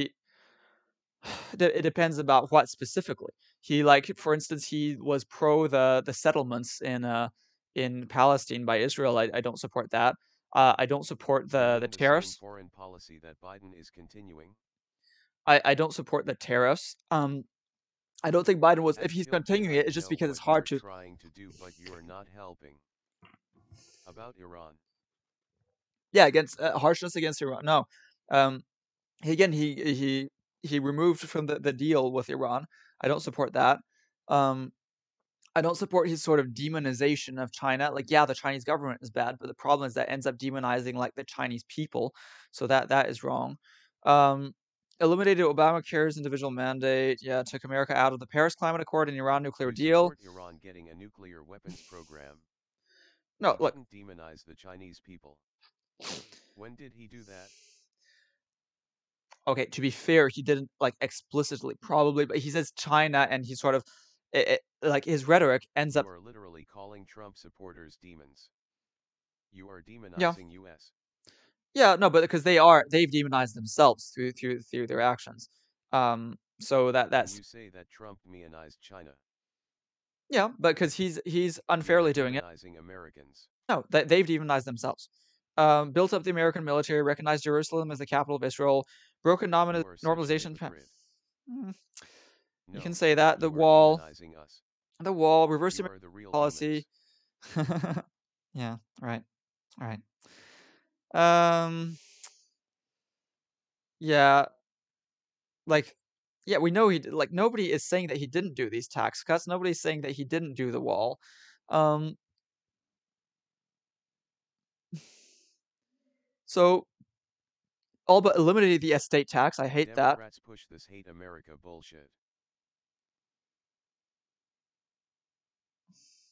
Look, look, uh, there, there's no talking with Trump supporters because obviously they, they're just completely Are gone. from America? Sort of, in part, as you can tell from my accent, but Trump supporters are completely gone. Um, they're honestly, I'm gonna put the speech chat on mute because I, I've, I've basically no no interest in, in having a discussion with Trump supporters.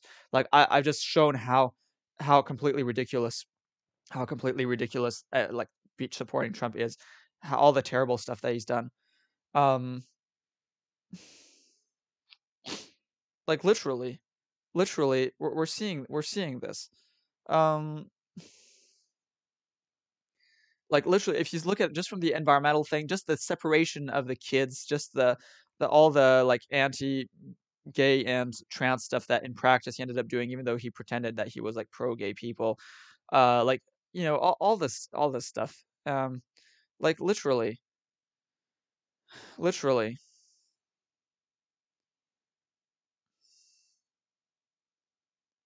Commitment to domestic energy again so what he did is that he ended up producing more oil and gas so they're saying this is a good thing it's not so they're saying it literally. The united states ended up producing like became the single biggest producer of oil and gas and he also put tariffs on on solar panels.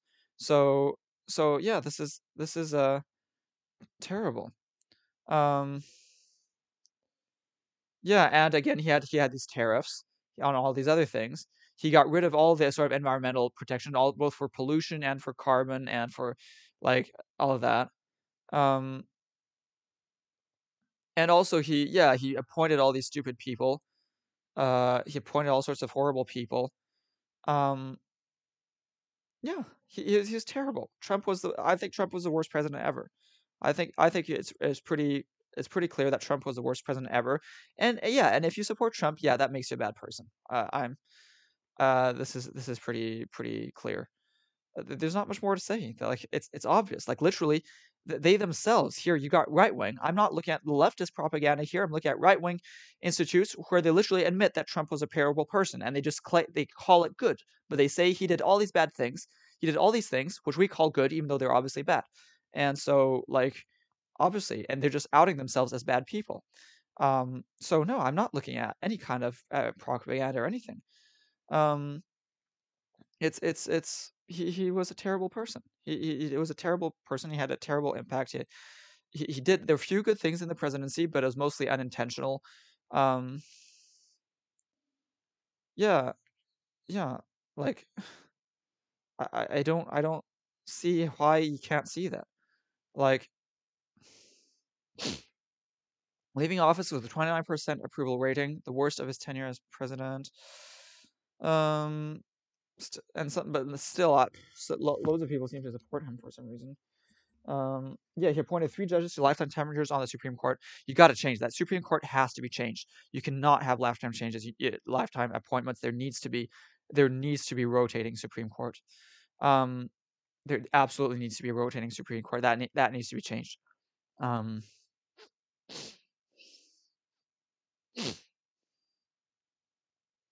like in every way, pretty much everything that he did was was wrong. Like pretty much everything, and like the few good things were sort of like incidental or like just sort of accidental or whatever. You know, they're um that that's it.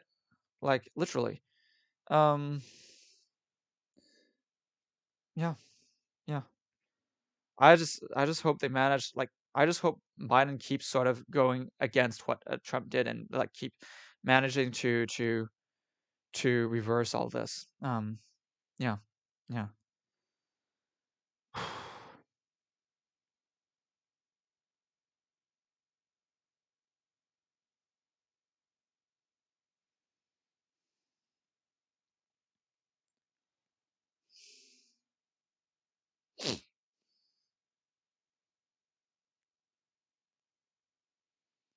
Oh yeah. Okay, so first, regardless of feelings about the wisdom of any of these orders, Trump demonstrated the fleeting nature of non-legislative policy maneuvers, and likely to disappear. Yeah, with with Biden. So this was presumably, yeah. Uh, Trump successfully attacked ISIS and dismantled a deeply flawed Iranian nuclear deal. Um, well, yeah, okay, the ISIS thing, yeah, I don't really know what to think too much about the Iran. Again, again, I don't have, and all this geopolitics stuff to me is just is just nonsense. Um, I, don't believe in nationalism, so for me, there there is no good domestic uh, foreign policy. Like there shouldn't be such a thing as foreign policy. Um, yeah, he said he made individual income taxes more progressive, but at the same time, by and large, most tax cuts were for for the rich. Um, like, so basically,